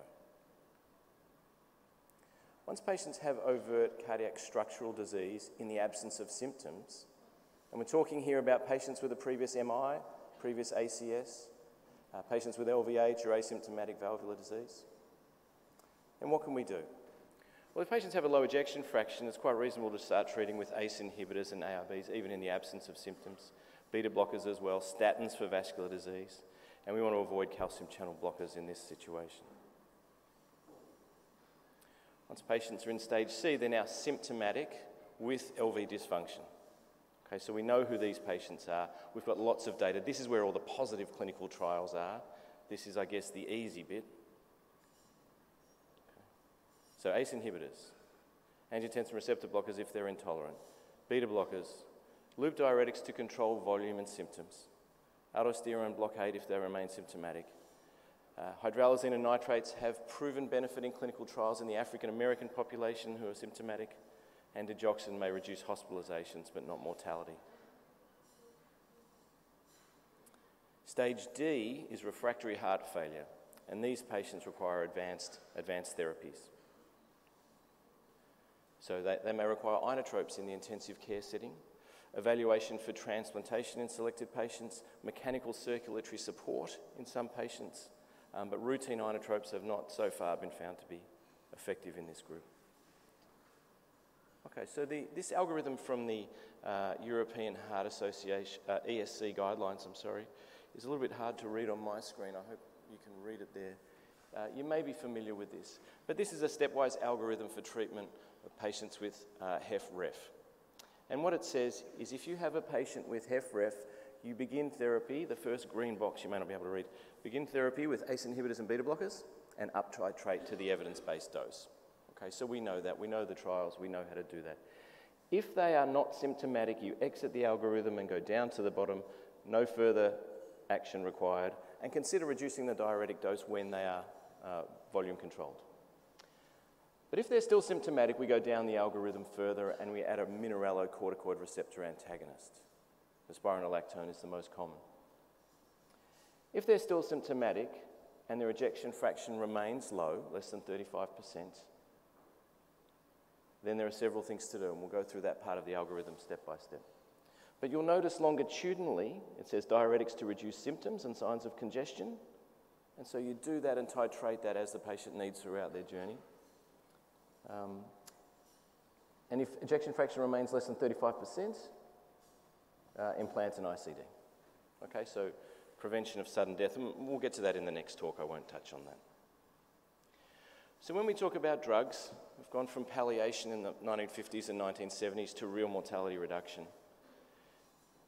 And over the course of the last, uh, since 1991, I guess in this slide, ACE inhibitors have reduced uh, mortality. The addition of beta blockers to ACE inhibitors have further reduced that, and then mineralocorticoid receptor antagonists. So in, in 20 years, we've halved the mortality with these evidence-based treatments. And that's why the guidelines give them each a class 1 indication level of evidence A, ACE inhibitors, beta blockers, and mineralocorticoid receptor antagonists for those who remain symptomatic. Okay, so I think I might skip the CRT thing here because we'll hear about that in the next talk. Um, and talk about uh, this third box where patients who are in sinus rhythm, who are still symptomatic with a low EF, but on maximal tolerated beta blockade have not achieved a heart rate of under 70 beats per minute. And the SHIFT study, which uh, randomised these, this group of patients to placebo or ivabradine, showed an 18% relative risk reduction um, of the combined uh, primary endpoint. There was a 1% all-cause mortality reduction which failed to reach significance, um, but significant reduction in hospitalisation. And so in the current guidelines, that gets a 2A recommendation level of evidence B for patients who continue to have a heart rate above 70 beats per minute. And ARNIs, I guess in, in HFrEF, this is the area of excitement in the last few years angiotensin receptor neprilysin inhibitors. So, what is this? Uh, this, is a, this is a combination drug, sacubitril and valsartan. So, sacubitril is a neprilysin inhibitor. And if you look at this diagram, I'm sorry I don't have a pointer, but neprilysin breaks down the natriuretic peptides. And by inhibiting this, you have the beneficial effects of more circulating natriuretic peptides. Um, it also blocks the breakdown of angiotensin 2, so you need to add, add, an angiotensin receptor blocker in with that. And this combined inhibition in patients who are established on ACE beta blocker and mineralocorticoid receptor antagonist, um, changing the ACE inhibitor to the combination of sacubitril and valsartan further reduced um, the primary endpoint by 20%, and importantly, reduced mortality by 16%.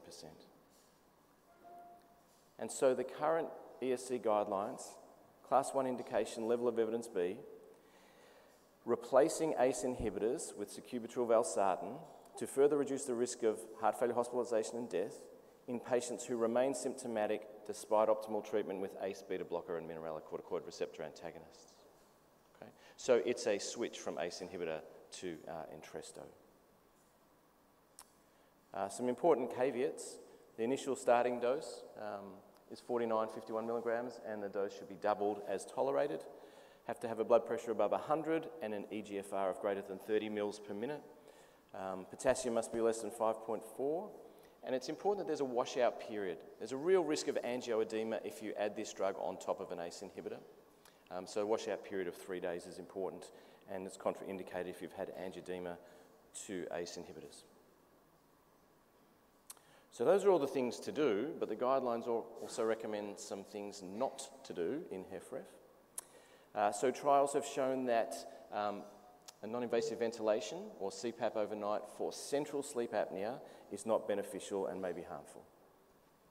Uh, thiazolidinediones or the glitazones have been shown to worsen the risk of heart failure, so diabetics with HFrEF should not receive these drugs. And we should avoid non-steroidal anti-inflammatories and COX-2 inhibitors as they increase the risk for worsening heart failure and hospitalisation. A couple of special comorbidities in, in HFrEF. Those who have iron deficiency anemia. This was a randomised controlled trial of ferrous carboxymaltose infusion, and it showed a 61% reduction in time to first heart failure hospitalisation. So treating iron deficiency in HFrEF is really important in improving symptoms and reducing hospitalisation. And this is now a class 2A recommendation, and it's only with uh, the ferrous carboxymaltose. We don't know that other iron preparations actually work, um, but if you don't have the carboxymaltose preparation, it's probably reasonable to use other iron supplementation protocols. Uh, diabetes. So uh, we've seen this slide already today, but uh, hospitalisation for heart failure is substantially reduced with em empagliflozin, and I hope I pronounced that correctly. Diabetes drugs seem to be getting harder and harder to pronounce these days. Um, so that's now a 2A recommendation level of evidence B based on the EMPA-REG study. Okay, so when all of that's not enough, and there still is a substantial burden of symptoms, hospitalisation and death in this patient uh, cohort, then it's time to consider cardiac transplantation. If you think about this in the context of the history, this was first performed in 1967 under very controversial circumstances where Christiaan Barnard trained with Shumway at Stanford and then rushed back home to South Africa and, and did the first transplant. But it was 1967, and that was the era of mercury based diuretics and venesection, with none of the treatments that we currently have. And the first patient only lived for 16 days, but that was hailed as a great success. There was a worldwide um, fervour for heart transplantation at that time, and in the United States, the first paediatric heart transplant was just a few days later, but not, not quite as successful, only living six hours. Uh, and since that time, the operations uh, have improved, the immunosuppressive, immunosuppressive agents have improved, and the survival's improved uh, substantially. And there are now about 3,500 transplants annually uh, per year worldwide. And I'm led to believe that you've started your transplant program in Sri Lanka, and I would like to congratulate you as a cardiology community. That's a, a fantastic advance for your patients, so well done. This looks at the survival over, over uh, several generations, so from the 80s, 90s, uh, the five-year survival was approximately 65% now.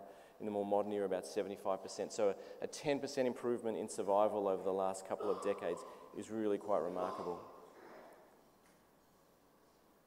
ESC guidelines um, say patients to consider are those with end-stage heart failure and severe symptoms, bad prognosis, and no remaining alternative treatments. They need to be motivated, well-informed, and emotionally stable. It is difficult once you've survived a transplant, to put up with the immunosuppressive protocol, the constant biopsy and, and follow up. It's not easy to do, and they must be capable of complying with the intensive treatment required post-operatively. There are a number of contraindications which we probably don't need to go through uh, in the interest of time. Um, but suffice it to say is that the um, contraindications are becoming less strict over time. Um, BMI cutoff is now 35 in the guidelines instead of 30. EGFR is 30 instead of 40 and patients over 70 now go on a regular waiting list in many countries. HIV and hepatitis C are no longer contraindications as they're manageable long-term diseases. I might just move through that. Uh, another option for the uh, advanced heart failure end-stage symptomatic patient is mechanical circulatory support. And there are several options here. ECMO, extracorporeal membrane oxygenator, takes blood out of the um, right atrium through the femoral vein, has a pump and an oxygenator, and delivers it back into the arterial system through the femoral artery. Uh, percutaneous VADs, or ventricular assist devices, and there are number of these on the market, and the number is growing each year. But the ones that I've shown there on the left are the Impella, which is a one arterial access, 13 French um, pigtail catheter with an impeller motor that drives blood from the left ventricle to the aorta. And on the right there is the TandemHeart, which is arterial and venous. It takes blood from the left atrium via a transeptal puncture through the venous system uh, to an external pump and puts it back into the aorta via the femoral artery uh, without oxygenating it. So those two are just pumps. And then there's the implantable LVAD, which is um, a surgically implanted device which can be used as a destination therapy or as a bridge to transplantation. Okay, so what are the indications for mechanical circulatory support? Uh, as a bridge to transplant, so if there's not an organ available and you want to keep the patient alive until there is an organ available, that's a bridge to transplant. Bridge to recovery, so patients who have fulminant myocarditis, for example, who are expected to recover but are in intractable cardiogenic shock, it's reasonable to put them on a, a ventricular assist device and await recovery. Destination therapy, the pumps have got so good these days that patients can live years on these pumps, and when patients can't get out of hospital, that's a, that's a much better option. Uh, bridge to decision or bridge to bridge are a bit more controversial. Patients who um, are in, in extremis and you just put them on a pump until you can make a decision to take them off the pump or go for transplant. And I think we're running uh, a little bit out of time, but um, we can look at a couple of the pumps here. And if you look at the evolution of these pumps, that one of the earlier HeartMates, you'll see on the left x-ray, it's a massive device and that's uh, uh, implanted in the abdomen um, and it's much smaller now. The HeartMate 2, you can see the inflow from the left ventricle, the pump with the uh, red writing there, and then the outflow goes back into the aorta. You can't see that tube. Um, and the survival is much, much better. If you look at the survival with medical therapy, versus uh, in green versus the blue line with continuous flow LVAD, it's a substantial improvement in survival in these end stage patients. Uh, this is the HVAD from Heartware, where the pump is on the inflow cannula. So that's implanted on the right panel, you can see, into the left ventricle. So that mechanical tube uh, is the inflow cannula to the pump, and then you can't see the outflow, which still goes into the aorta. And this one, the only external component of this is the battery pack. Um, uh, you can have two VADs, a right ventricular and a left ventricular assist device, uh, sometimes for severe biventricular failure. And uh, this is a patient who had a BiVAD and um, walked into clinic awake and alert with this ECG. And, and you could see it's a continuous flow VAD, so the uh, cardiac output is 5 litres per minute until such a time as a cardioversion uh, shock was delivered, and you can see some return of pulsatile flow from the patient's own cardiac function return there. But patients can walk around in VF uh, with these devices in. Uh, the future, devices are getting smaller and smaller, um, and probably I think the best, uh, the most important thing is this transcutaneous uh, battery charger to remove the need for external battery packs, which is a nidus for infection. So I'll stop there, and um, thank you for your attention. Thank you, Professor Boyle, for that very comprehensive talk. Our next speaker is uh, Dr. Bogdan Nuta to discuss about device therapy in heart failure.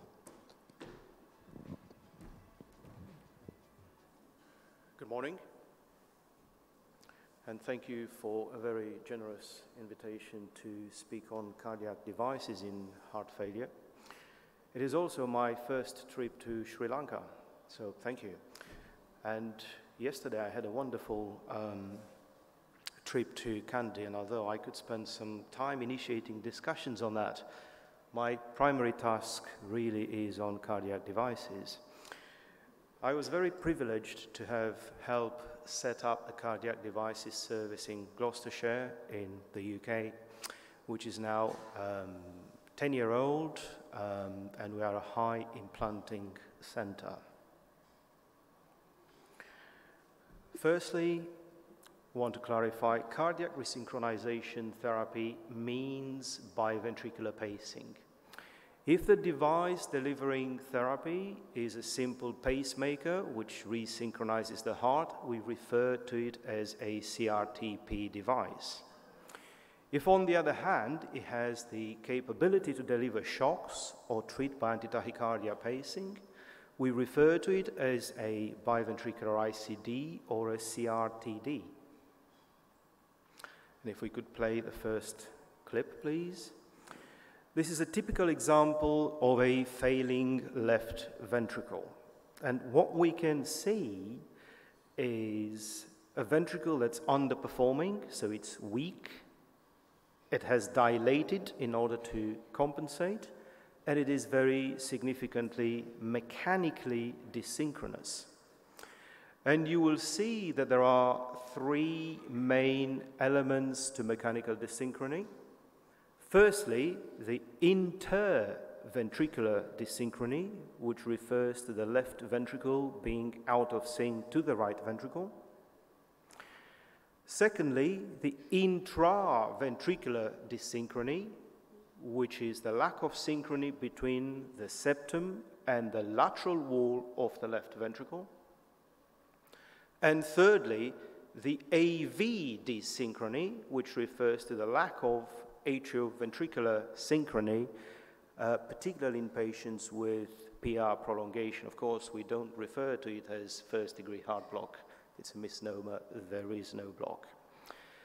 The mechanical desynchrony is essentially driven by the electrical desynchrony, and on the right hand side, you will see the ECG showing left bundle branch block with a very broad QRS.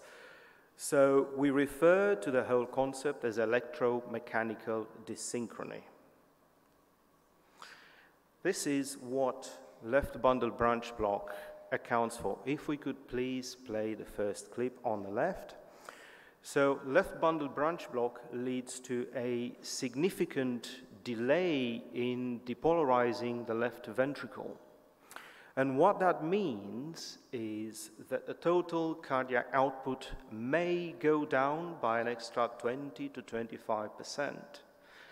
Now, in you and me, that would be probably tolerated, but in a patient with a pre existing left ventricular dysfunction, a loss of 20 to 25% of the cardiac output will matter.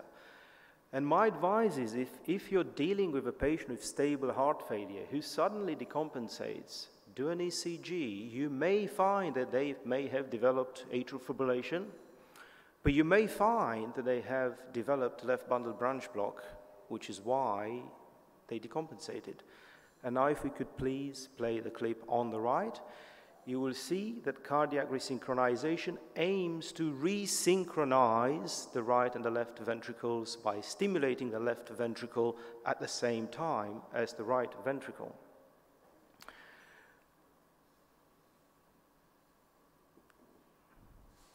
Now, of course, although we enjoy implanting devices and um, we derive immense satisfaction from doing so, it would be completely inappropriate to talk about CRT without at least mentioning the fundamentals of treating heart failure with medication, and particularly not with Professor Boyle in the room.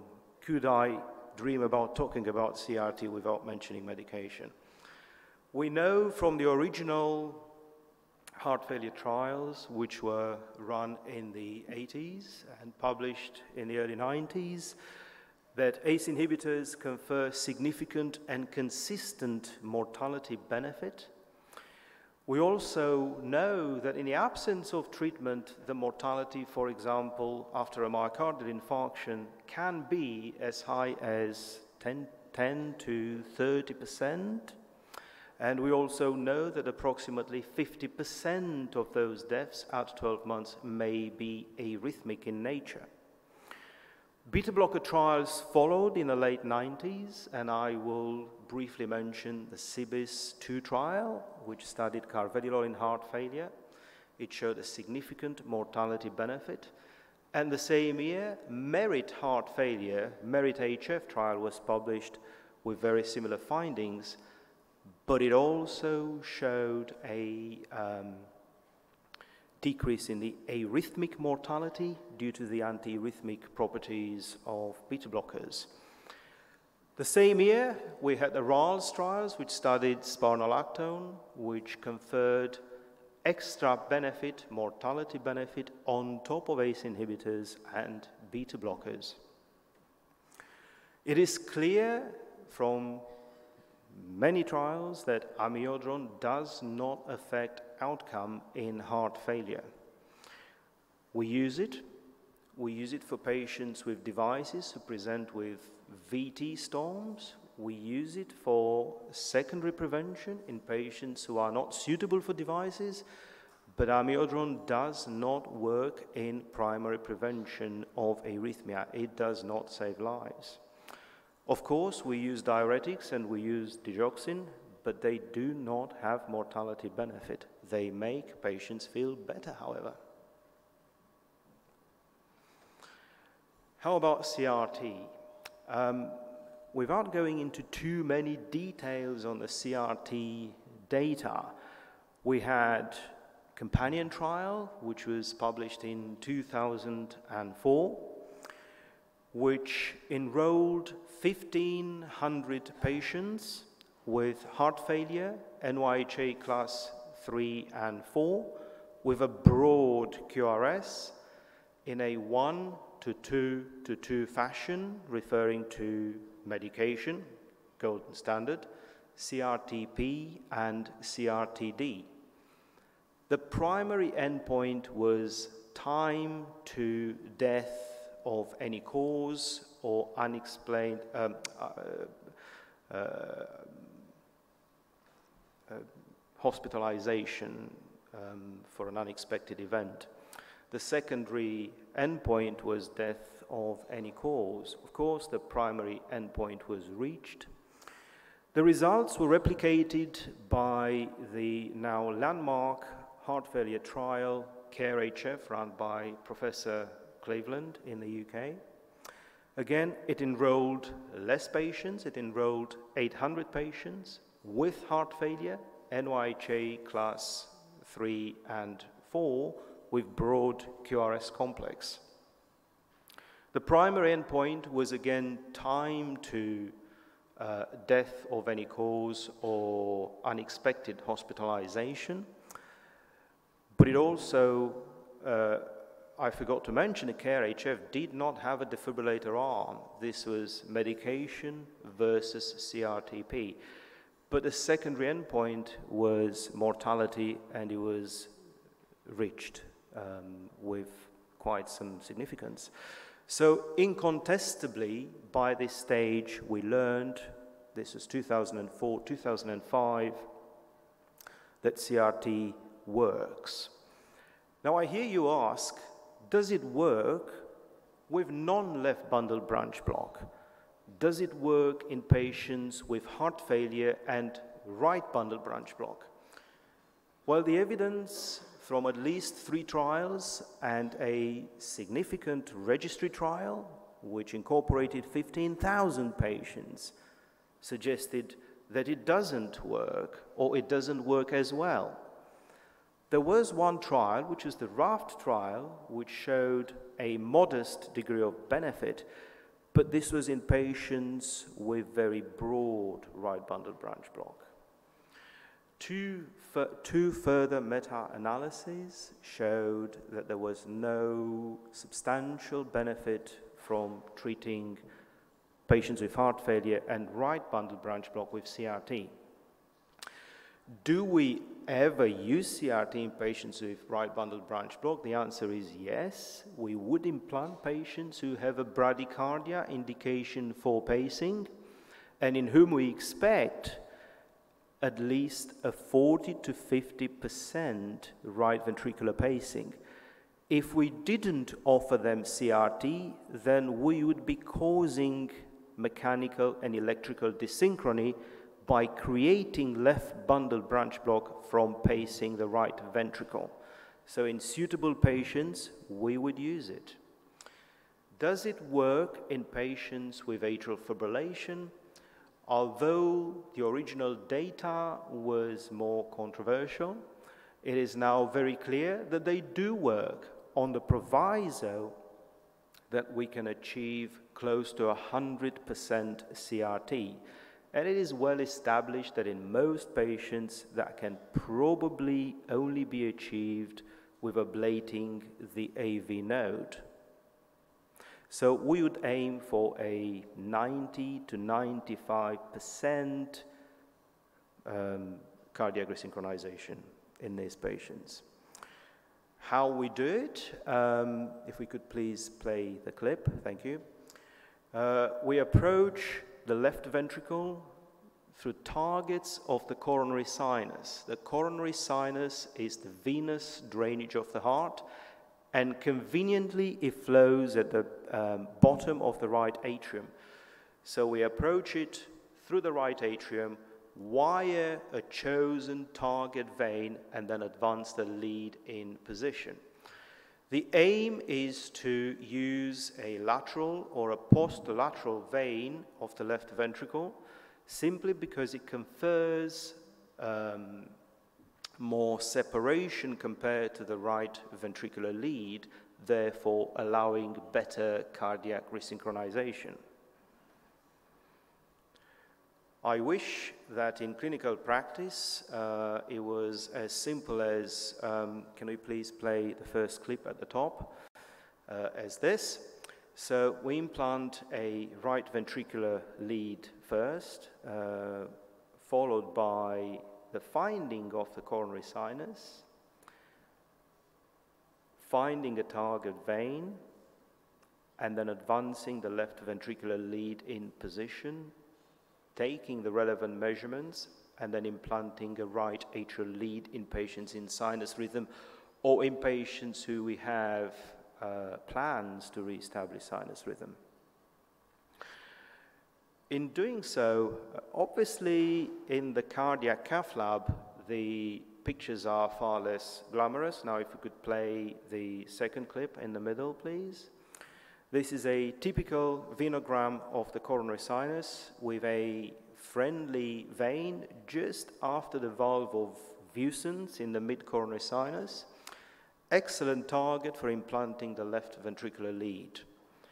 Hopefully, with this, we will have transformed an ECG with very broad left bundle branch block, which you can see at the bottom, into that ECG, which shows a narrower QRS without left bundle branch block. But importantly, if you look in lead one, the complex is a negative. That's because the signals will drive resynchronization early in the area of the latest activation. So resynchronization is driven from there, the signals go away, and therefore the QRS will be negative. So essentially, CRT is an electrical treatment for an electrical problem. How about defibrillators? Well, from the outset, I would like to say that defibrillators are not beneficial in either asymptomatic patients with heart failure or in patients with very severe NYHA class 4 heart failure, where again they are not cost effective. Where does the data come from? You will all remember the original MADIT 1 followed by MADIT 2 trials, which showed a significant mortality benefit you will also remember the curves which clearly demonstrated that uh, amiodarone did not have any benefit in preventing sun, uh, sudden death in patients with heart failure. So in fact, the two curves, the placebo and the amiodarone curves, were parallel. There was absolutely no benefit. SCD-HeFT was a landmark trial to demonstrate this point, and importantly, there was no substantial difference between ischemic and non-ischemic patients. The MADIT-2 trial had a substantial benefit which was maintained late. In fact, the patients who benefited most were patients who were most remote from the index event. There is recently some controversy over the benefits of using ICDs in patients with non-ischemic cardiomyopathy. DEFINITE trial showed a trend in mortality reduction. You're all familiar with the more contemporary Danish study, um, which showed very little, if any, benefit from implanting defibrillators in the uh, Danish populations. The issue is a little controversial across Europe and particularly in the US. We do adopt some parts of the Danish study, so we will offer defibrillators for primary prevention in patients with non-ischemic cardiomyopathy on the proviso that they have either evidence of fibrosis or scarring on a cardiac MRI, or we find evidence of non-sustained VT, which are both risk markers. This is how ICDs work, so it's important to remember, at least in the UK, we've been using defibrillators since the early 90s. Initially, we used them for secondary prevention, so patients had to earn them by surviving initially not one but two cardiac arrests to get a defibrillator. Later on in September 2000, at least in the UK, we had the first National Institute of Clinical Excellence guidelines on primary prevention, which covered ischemic patients. Um, and now if we could play the um, clip, please. This is a heart that's just about, about to develop ventricular fibrillation. The defibrillators will work by trying to override the arrhythmia in the first instance. Of course, most VF will start with relatively stable VT. These therapies do work. If they don't, then we have the backup of a shock therapy. Shocks are painful, but they do save lives. It's interesting running a devices clinic and coming across patients who have had 50 or 60 episodes of life-threatening ventricular tachycardia, all overridden by pacing therapies with no shocks. And patients have no idea that they would have been in any danger whatsoever. And of course, uh, having a defibrillator and receiving shocks uh, will lead to driving bans and uh, a significant impact on um, lifestyle and so forth. Uh, in conclusion, ladies and gentlemen, cardiac resynchronization therapy works on top of the benefits already conferred by medical treatment. We say that 30% of patients are super responders virtually normalizing the heart.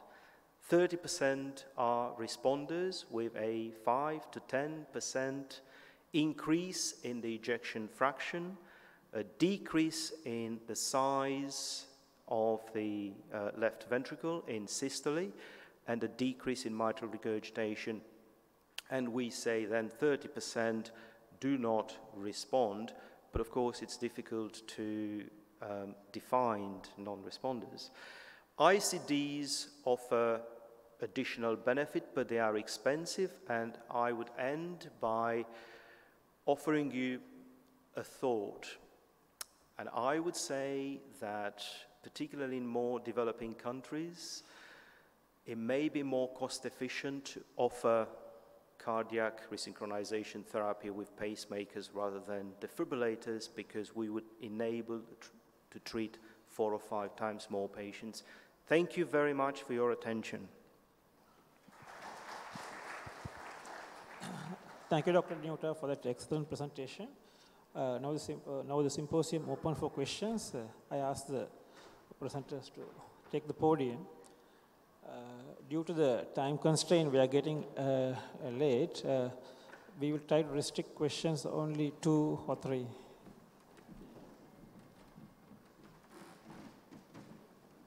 Any questions from audience?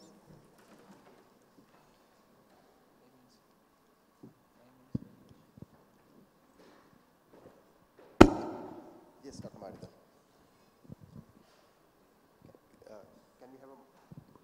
Can we have a mic to Dr. Maridhar, please?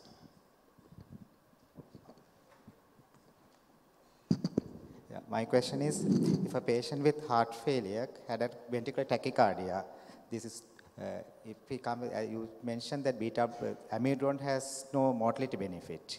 So, what are you going to do uh, after the, if you had a ventricular tachycardia heart failure? You have to increase the beta blockade or you are going to put on amiodarone. In our settings, ICD is very difficult to these patients.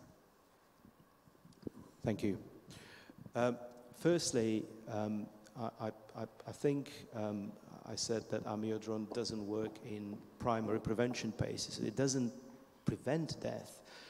But if you are presented with a patient with heart failure, with ventricular tachycardia, my first line of treatment would be beta blockers. And actually, what works very well is intravenous propranolol.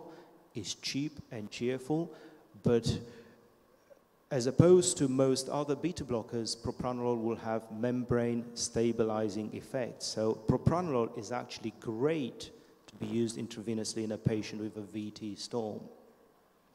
The patients that we usually come across are patients who have defibrillators in place and they keep getting shocks. And there are patients who will experience 20 or 30 shocks from the defibrillators.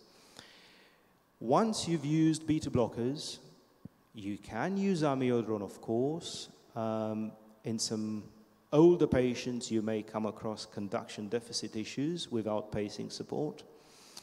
If everything fails, remember maintain a potassium between 4 and 5, no higher, no lower. If that fails, you can paralyze and ventilate the patient, and as a last resort, offer a VT ablation treatment, particularly if the VT is ischemic.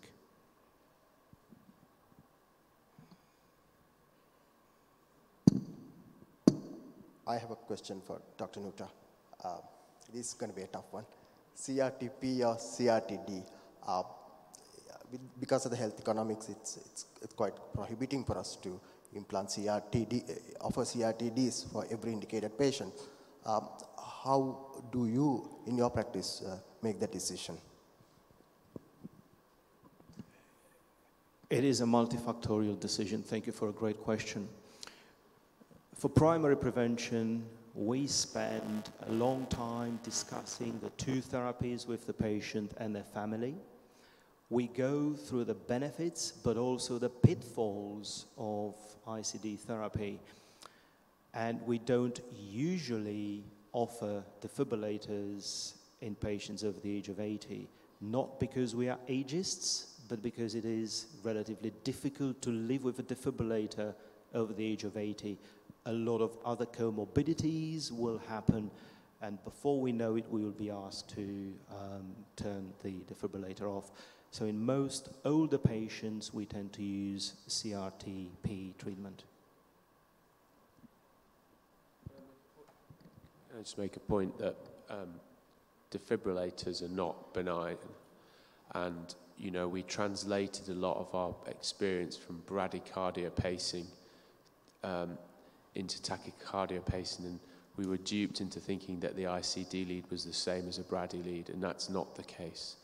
You know, if you look at the certainly the contemporary literature at the moment, you're looking at between a 17 and 25% five-year problem with that lead and inappropriate shocks, inappropriate therapy. And so um, lead infections, and, and all of these are a real nuisance. And uh, patients need to be aware of that. And so really we should try and avoid um, ICD. And I certainly have started to move to using a subcutaneous ICD now more. There's one more question, uh, uh, again for uh, Dr. Nuta. Uh, regarding the CRT, it's, it's an uh, economical issue with CRT. So we know that there's responders and non-responders, and very difficult to identify who is going to respond. So how do you know uh, after CRT these, uh, these, uh, these guys are responding? Uh, what is the criteria you're using, either imaging or the quality of life index? Thank you for another great question. Um, we simply repeat the echocardiogram six months post-implant and we review patients clinically. Um, there will be a number of patients with declared clinical benefit, but in fact, when we performed an echocardiogram, the ventricle has remained still, has not improved significantly. But the heart failure clinically looks much better and the patients are much happier. I would genuinely say that we come across that scenario probably 20 to 30% of the time. The rest we will see a fairly significant improvement. In the interest of time, we are going to have to wind up uh, this uh, symposium. Uh, first of all, I'd like to thank all the three speakers for very enlightening uh, talks. And uh, Dr. Prakash, uh, I would like to invite Dr. Bogdan Nuta to um, accept a token of appreciation uh, behalf of the President and the Council of uh, the Sri Lanka Heart Association uh, from Dr. Prakash.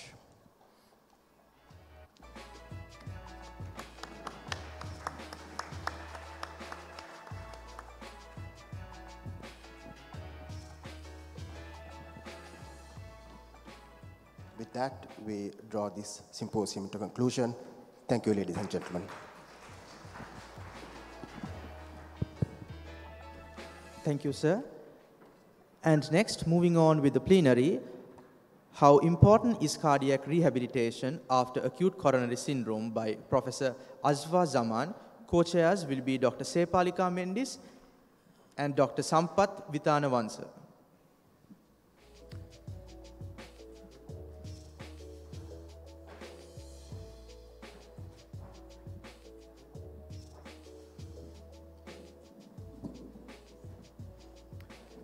Okay, thank you. Um, thank you for this invitation once again. You've just heard uh, three fantastic talks on uh, treatment of heart failure using largely high-tech devices and high-tech latest development pharmacotherapy.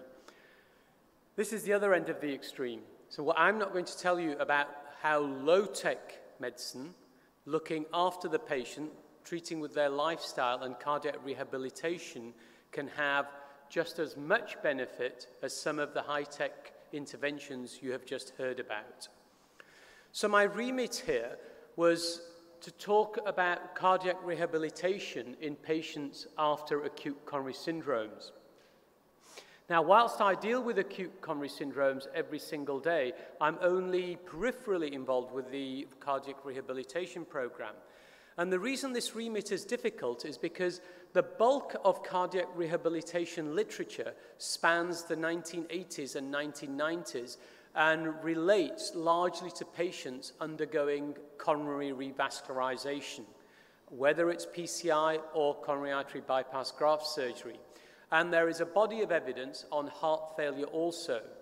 But that relating to acute coronary syndromes is few and far between. But as I will tell you, there are data out there to support cardiac rehabilitation. Those of you who were present yesterday at my talk will have seen this graph, and I show this to you to highlight the importance of non-pharmacology, non-interventional means uh, of improving out patient outcomes in, uh, after acute coronary syndromes. So what this is telling us is that in patients on optimal medical therapy after optimal coronary intervention, there is still a significant ischemic burden post-ACS. So the pie chart on the left tells us that in the immediate post-infarct survivors, 18.3% of patients will have one year incidence of cardiovascular death, MI, or stroke. If you look to the pie chart on the right, of the patients who are free of events in the first year, one in five, so 20% of patients, will go on to have a cumulative three-year incidence of cardiovascular death, MI, or stroke. And what I want you to remember is that these patients have been optimally managed. These are patients who have been revascularized, these are patients who are on optimal guideline recommended therapy. So, in spite of this, nearly one in five of our patients will go on to have an ischemic event.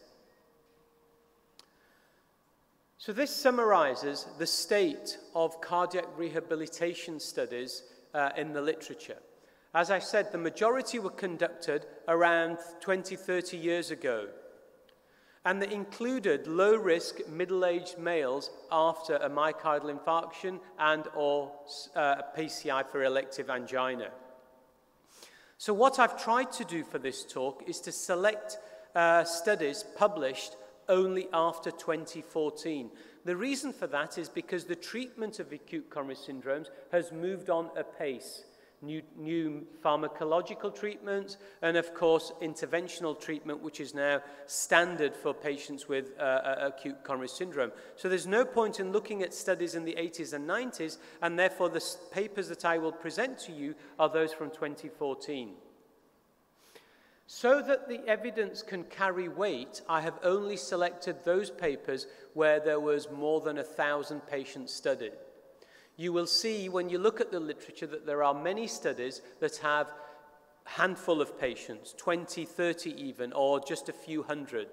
So I've only selected those with over a thousand patients. And it is important, if this is going to have relevance, that these patients are on optimal therapy. And of course, the remit I was given by the committee was that I had to include ACS patients. But before I give the talk, it's important that you recognize that the bulk of the cardiac rehabilitation studies, uh, the data comes from largely three countries the United States, Canada, and the United Kingdom. So it's very important that whilst you will see the data, that when we come to the conclusions, that you adapt this to the local community that you serve.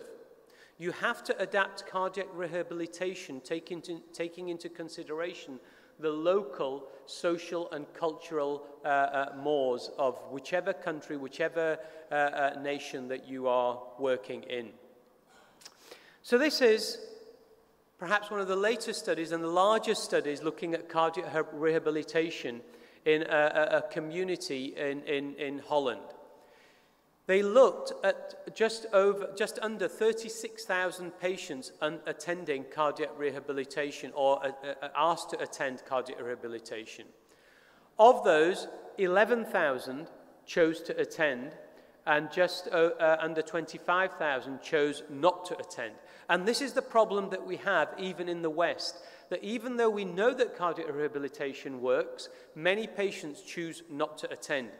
So this group uh, uh, compared outcomes in the patients who chose to attend and used as a control group those who did not attend.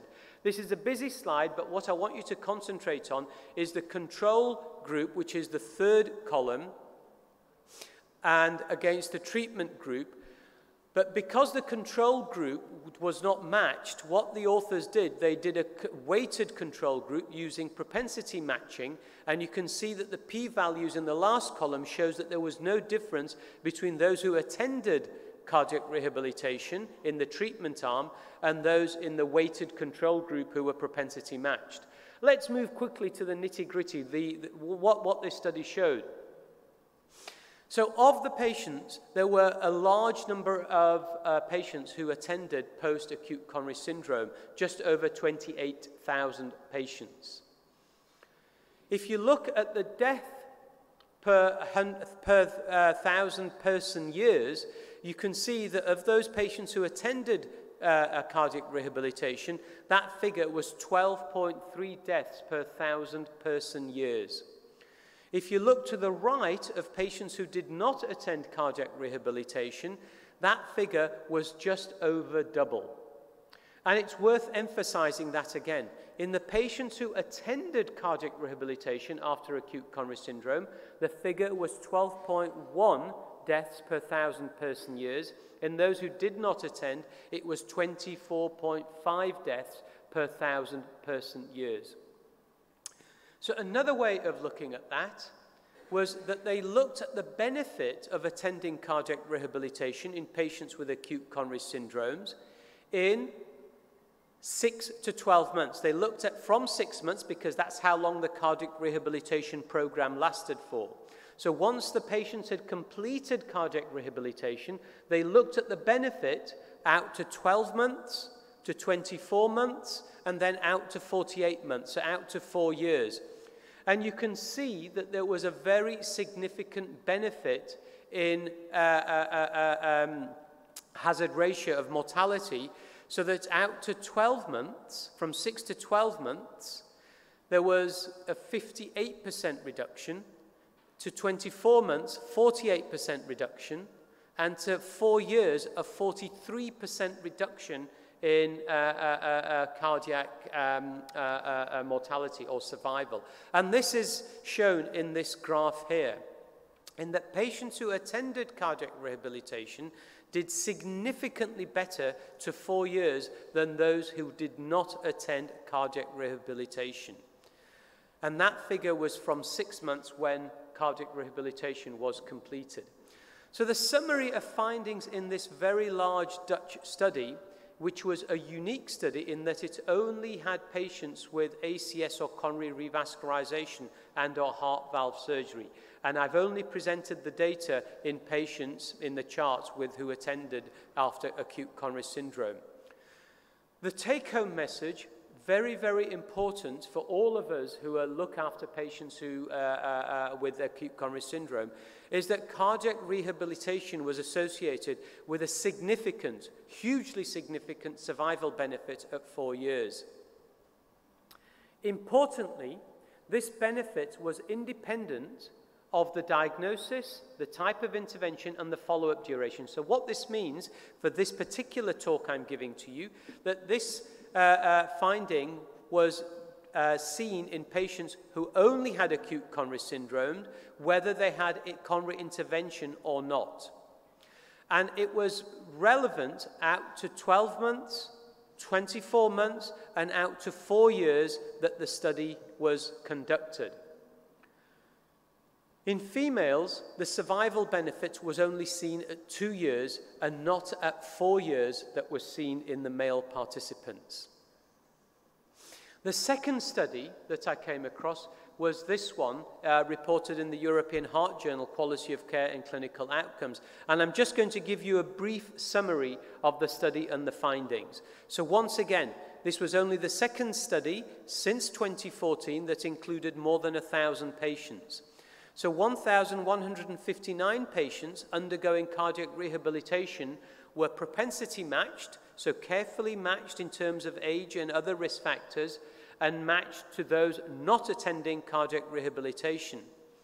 It's important that you understand that even in Western Europe and America, where cardiac rehabilitation programs are well established, have been running for 30, 40 years, that attendance is very, very poor. It's of the order of 40%, so the majority do not attend. And this was restricted to patients surviving 60 days uh, post discharge. And this went on to five years, and the findings were a mirror image of the larger Dutch study, in that the cumulative mortality was almost 40% lower of those attending cardiac rehabilitation, both at five years and at 10 years. And the overall mortality risk at 10 years was 39%. Once again, I emphasize the point to you, this is important for you to remember that these were patients who were optimally managed on the best interventional treatment, on the best pharmacotherapy treatment that we can offer. So this low-tech intervention of cardiac rehabilitation, and I'll talk about what this involves, leads to a mortality reduction of 39% over and above coronary interve revascularization intervention, over and above pharmacotherapy. So is it worth it? So I could only find one latest study on the economic evaluation, which, as we've heard from previous studies, in a country like Sri Lanka, and, and in fact in every country, the economic evaluation of any intervention is very, very important. So this study, published in 2016, looked at the economic evaluation of an exercise-based cardiac rehabilitation program, and specifically in those patients with a recent acute coronary syndrome. 204 patients were studied. They were randomized to one year of exercise-based therapy, ECR, versus usual care. And the cost estimate was based on the typical cost estimate, how we assess it, which was based on uh, uh, uh, quality adjusted life years. It's a well recognized method of uh, uh, economic evaluation in, in medicine. So, those patients who attended cardiac rehabilitation, there was a 24,000 511 euro benefit quality adjusted life year for those who attended an exercise based cardiac rehabilitation program. And in this study, they found a relative risk reduction of 73% in the combined endpoint of mortality, recurrent coronary event, or hospitalization for heart failure, okay, in patients with an acute coronary syndrome. So the other studies of 39% and 40% reduction was in cardiac mortality. When you combine mortality with recurrent coronary events and heart failure, this study showed a 73% reduction and over 24,000 euro quality adjusted life year benefit in those patients attending cardiac rehabilitation. So how can you implement it? Remember, you have to implement it taking into consideration the local patient, the local cultural and social mores. It is very, very important. So cardiac rehabilitation is the coordinated sum of activities designed to influence, to influence, remember, the underlying cause of cardiovascular disease. You have to provide in that program the best means to, uh, uh, for the best possible physical, mental, and social condition for that patient to change the underlying cause of that cardiovascular disease. The goal is that the patient, through their own efforts moving forward, can preserve or resume optimal functioning in their community, whatever their job, whatever their role is in that community, regardless of their age. And the key thing is, is that we have to improve and change their behavior so that their risk of further cardiovascular events is uh, reduced or reversed. What are the core components? There are six core components. Okay, this is relevant to the UK, but it has to be implemented in this country if you're going to see the same benefit. The first thing is you have to have change of behavior. So that involves education. If they've been admitted with an acute coronary syndrome, typically you will find that their lifestyle uh, uh, uh, uh, previously has not been optimal for cardiovascular health. So you have to modify and change their lifestyle. It's important that you address their psychosocial health, and many cardiac rehabilitation programs fail because there is not a psychologist involved in the program. It is important that there are both a psychologist and a dietitian involved in the program. You have to manage their medical risk. So it, it is important that this program is led by a physician. You have to deal with both short-term and long-term strategies. Short term, with how they overcome their psychological barriers to having had an acute coronary syndrome, long term, to how they change their behavior. And what is very important, and we are recognizing this in the UK, is that you have to keep very, very careful records and you have to submit this to a national body so that we can see what is happening in each region across the country and we can modify and share good practice across each region. This is a busy slide, but it's important that if you start this across this country, any country, that you have certain standards that you try and maintain across all the regions, all the hospitals uh, uh, uh in the country. So you have to deliver the six components. It's important that you have qualified and competent multidisciplinary. And this is the key. It cannot be led just by a physician. It cannot be led just by a nurse. You have to have physicians, nurses involved, dietitians, psychologists involved. It has to be multidisciplinary. You have to identify the appropriate patients. That's relatively easy because we now are very good at identifying patients who come in with acute coronary syndrome. Initial assessment is important, that has to happen within the hospital. The early provision of a cardiac rehabilitation program is also important. You cannot let the patients go home and then have them enter a program four months, two months, six months down the line. It has to start in the hospital. The information has to be given, the education has to start within the hospital. Once the program is completed, a final assessment of the individual patient needs to occur. And as I said, the sixth thing is that it is important that you do this in uh, a very logical fashion that uh, can collects the data for the hospital, for the region, for the nation. So somebody needs to be a champion of cardiac rehabilitation in Sri Lanka and to set it up and to set up uh, audit uh, uh, database uh, uh, that collects all the information. And the reason I say this is that, as I said to you before, even in well established cardiac rehabilitation programs in Western Europe, in America, the attendance is very, very poor. The majority fail to complete a cardiac rehabilitation program.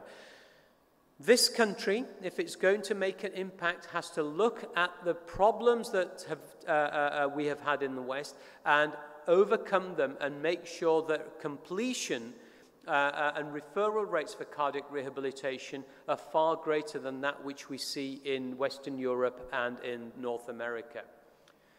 The American Heart Association, just in a recent uh, um, communication, has suggested that it is a lack of knowledge about the benefits of cardiac rehabilitation amongst both patients and healthcare providers, which is a major factor in its underutilization. And you can see why. If I talk to an audience about stents, about expensive technologies, rotablations, laser, what you've heard before, cardiac resynchronization therapy, it's very, very attractive. We all like to think that we can put expensive equipment in patients and that benefits something that is low tech, that involves education, that involves more work, that involves a treatment over the next six months, one year, is not as attractive to healthcare providers. But this is cheap, and what I hope I, have shown you is that it is hugely effective, but it needs each and every one of us to be a champion if we are going to uh, uh, uh, do the best for our patients after they leave hospital with an acute coronary syndrome. So, in summary, even in patients receiving the best treatment for acute coronary syndrome, those who attend cardiac rehabilitation have significant benefit up to four years in very, very large studies and up to 10 years in smaller studies. The important message to take home is that cardiac rehabilitation in this patient population is of huge economic benefit to the nation. And of course, it's of huge benefit to the patient in that it is very, very cost effective. The problem that you face, the problem that we face, whether developing nations or in Western Europe and North America, is that even in countries with long established programs, completion of the cardiac rehabilitation by individual patients is very, very poor. And you have an opportunity in this country, if you're going to start this program, is that you look at the, uh, uh, the programs, you look at the six core components, and you seriously think about how you're going to implement it so that you lead to greater success than we have seen uh, uh, uh, elsewhere. And the challenge for all healthcare systems is to identify and address these barriers uh, uh, uh to change. Thank you for your attention. Thank you very much, Professor Zaman, for that excellent uh, lecture on cardiac rehabilitation, uh, giving, an, uh, I mean, giving all the benefits of cardiac rehabilitation. I think all the cardiac interventionalists uh, here who, and, the, and the, the cardiologists who are treating acute coronary syndrome, this lecture is an encouragement uh, to start programs in your own centers. And in fact, the, the, the, council and the president and the council this year is there. One of the aims is to you know, uh, establish cardiac rehabilitation programs in periphery. Actually, we have started a program at the National Hospital. For last 16 years, we have been doing it. So far, I have completed nearly 6,000 patients uh, we have rehabilitated. And um, I, would, I really would, uh, you know, I'm really very happy that you gave this lecture in this session to encourage all the cardiologists to start their programs in their own centers. Thank you so much. Thank you, Saman. Thank you very much for that um, very thought-provoking lecture. That in Sri Lanka, what we are facing, I think the main issue is lack of awareness of the uh, benefit of the cardiac rehabilitation. I assume most of our colleagues, the cardiologists, not seeing how patients improved after cardiac rehabilitations. Now, in Sri Lanka, unfortunately, we don't have a program to incorporate patients just after procedure, just after acute coronary syndrome. We get them after months sometime. But even at that time, you don't believe some patients are not sleeping because of a fear of death. And some people are not having any sexual activity for a long time because of fear of uh, the uh, death or another heart attack. So cardiac rehabilitation, even though you had, you correctly pointed out, uh, not only the mortality benefit, uh, quite big social and mental benefit, and the patients are hugely improved that we, uh, I have my personal experience over last seven years, and it's a very, very cost-effective, amazing tool. I appeal all my colleagues to start your cardiac rehabilitation program or otherwise for physicians, please refer wherever the cardiac rehabilitation available. It's amazing tool. Thank you very much for a very thought-provoking lecture.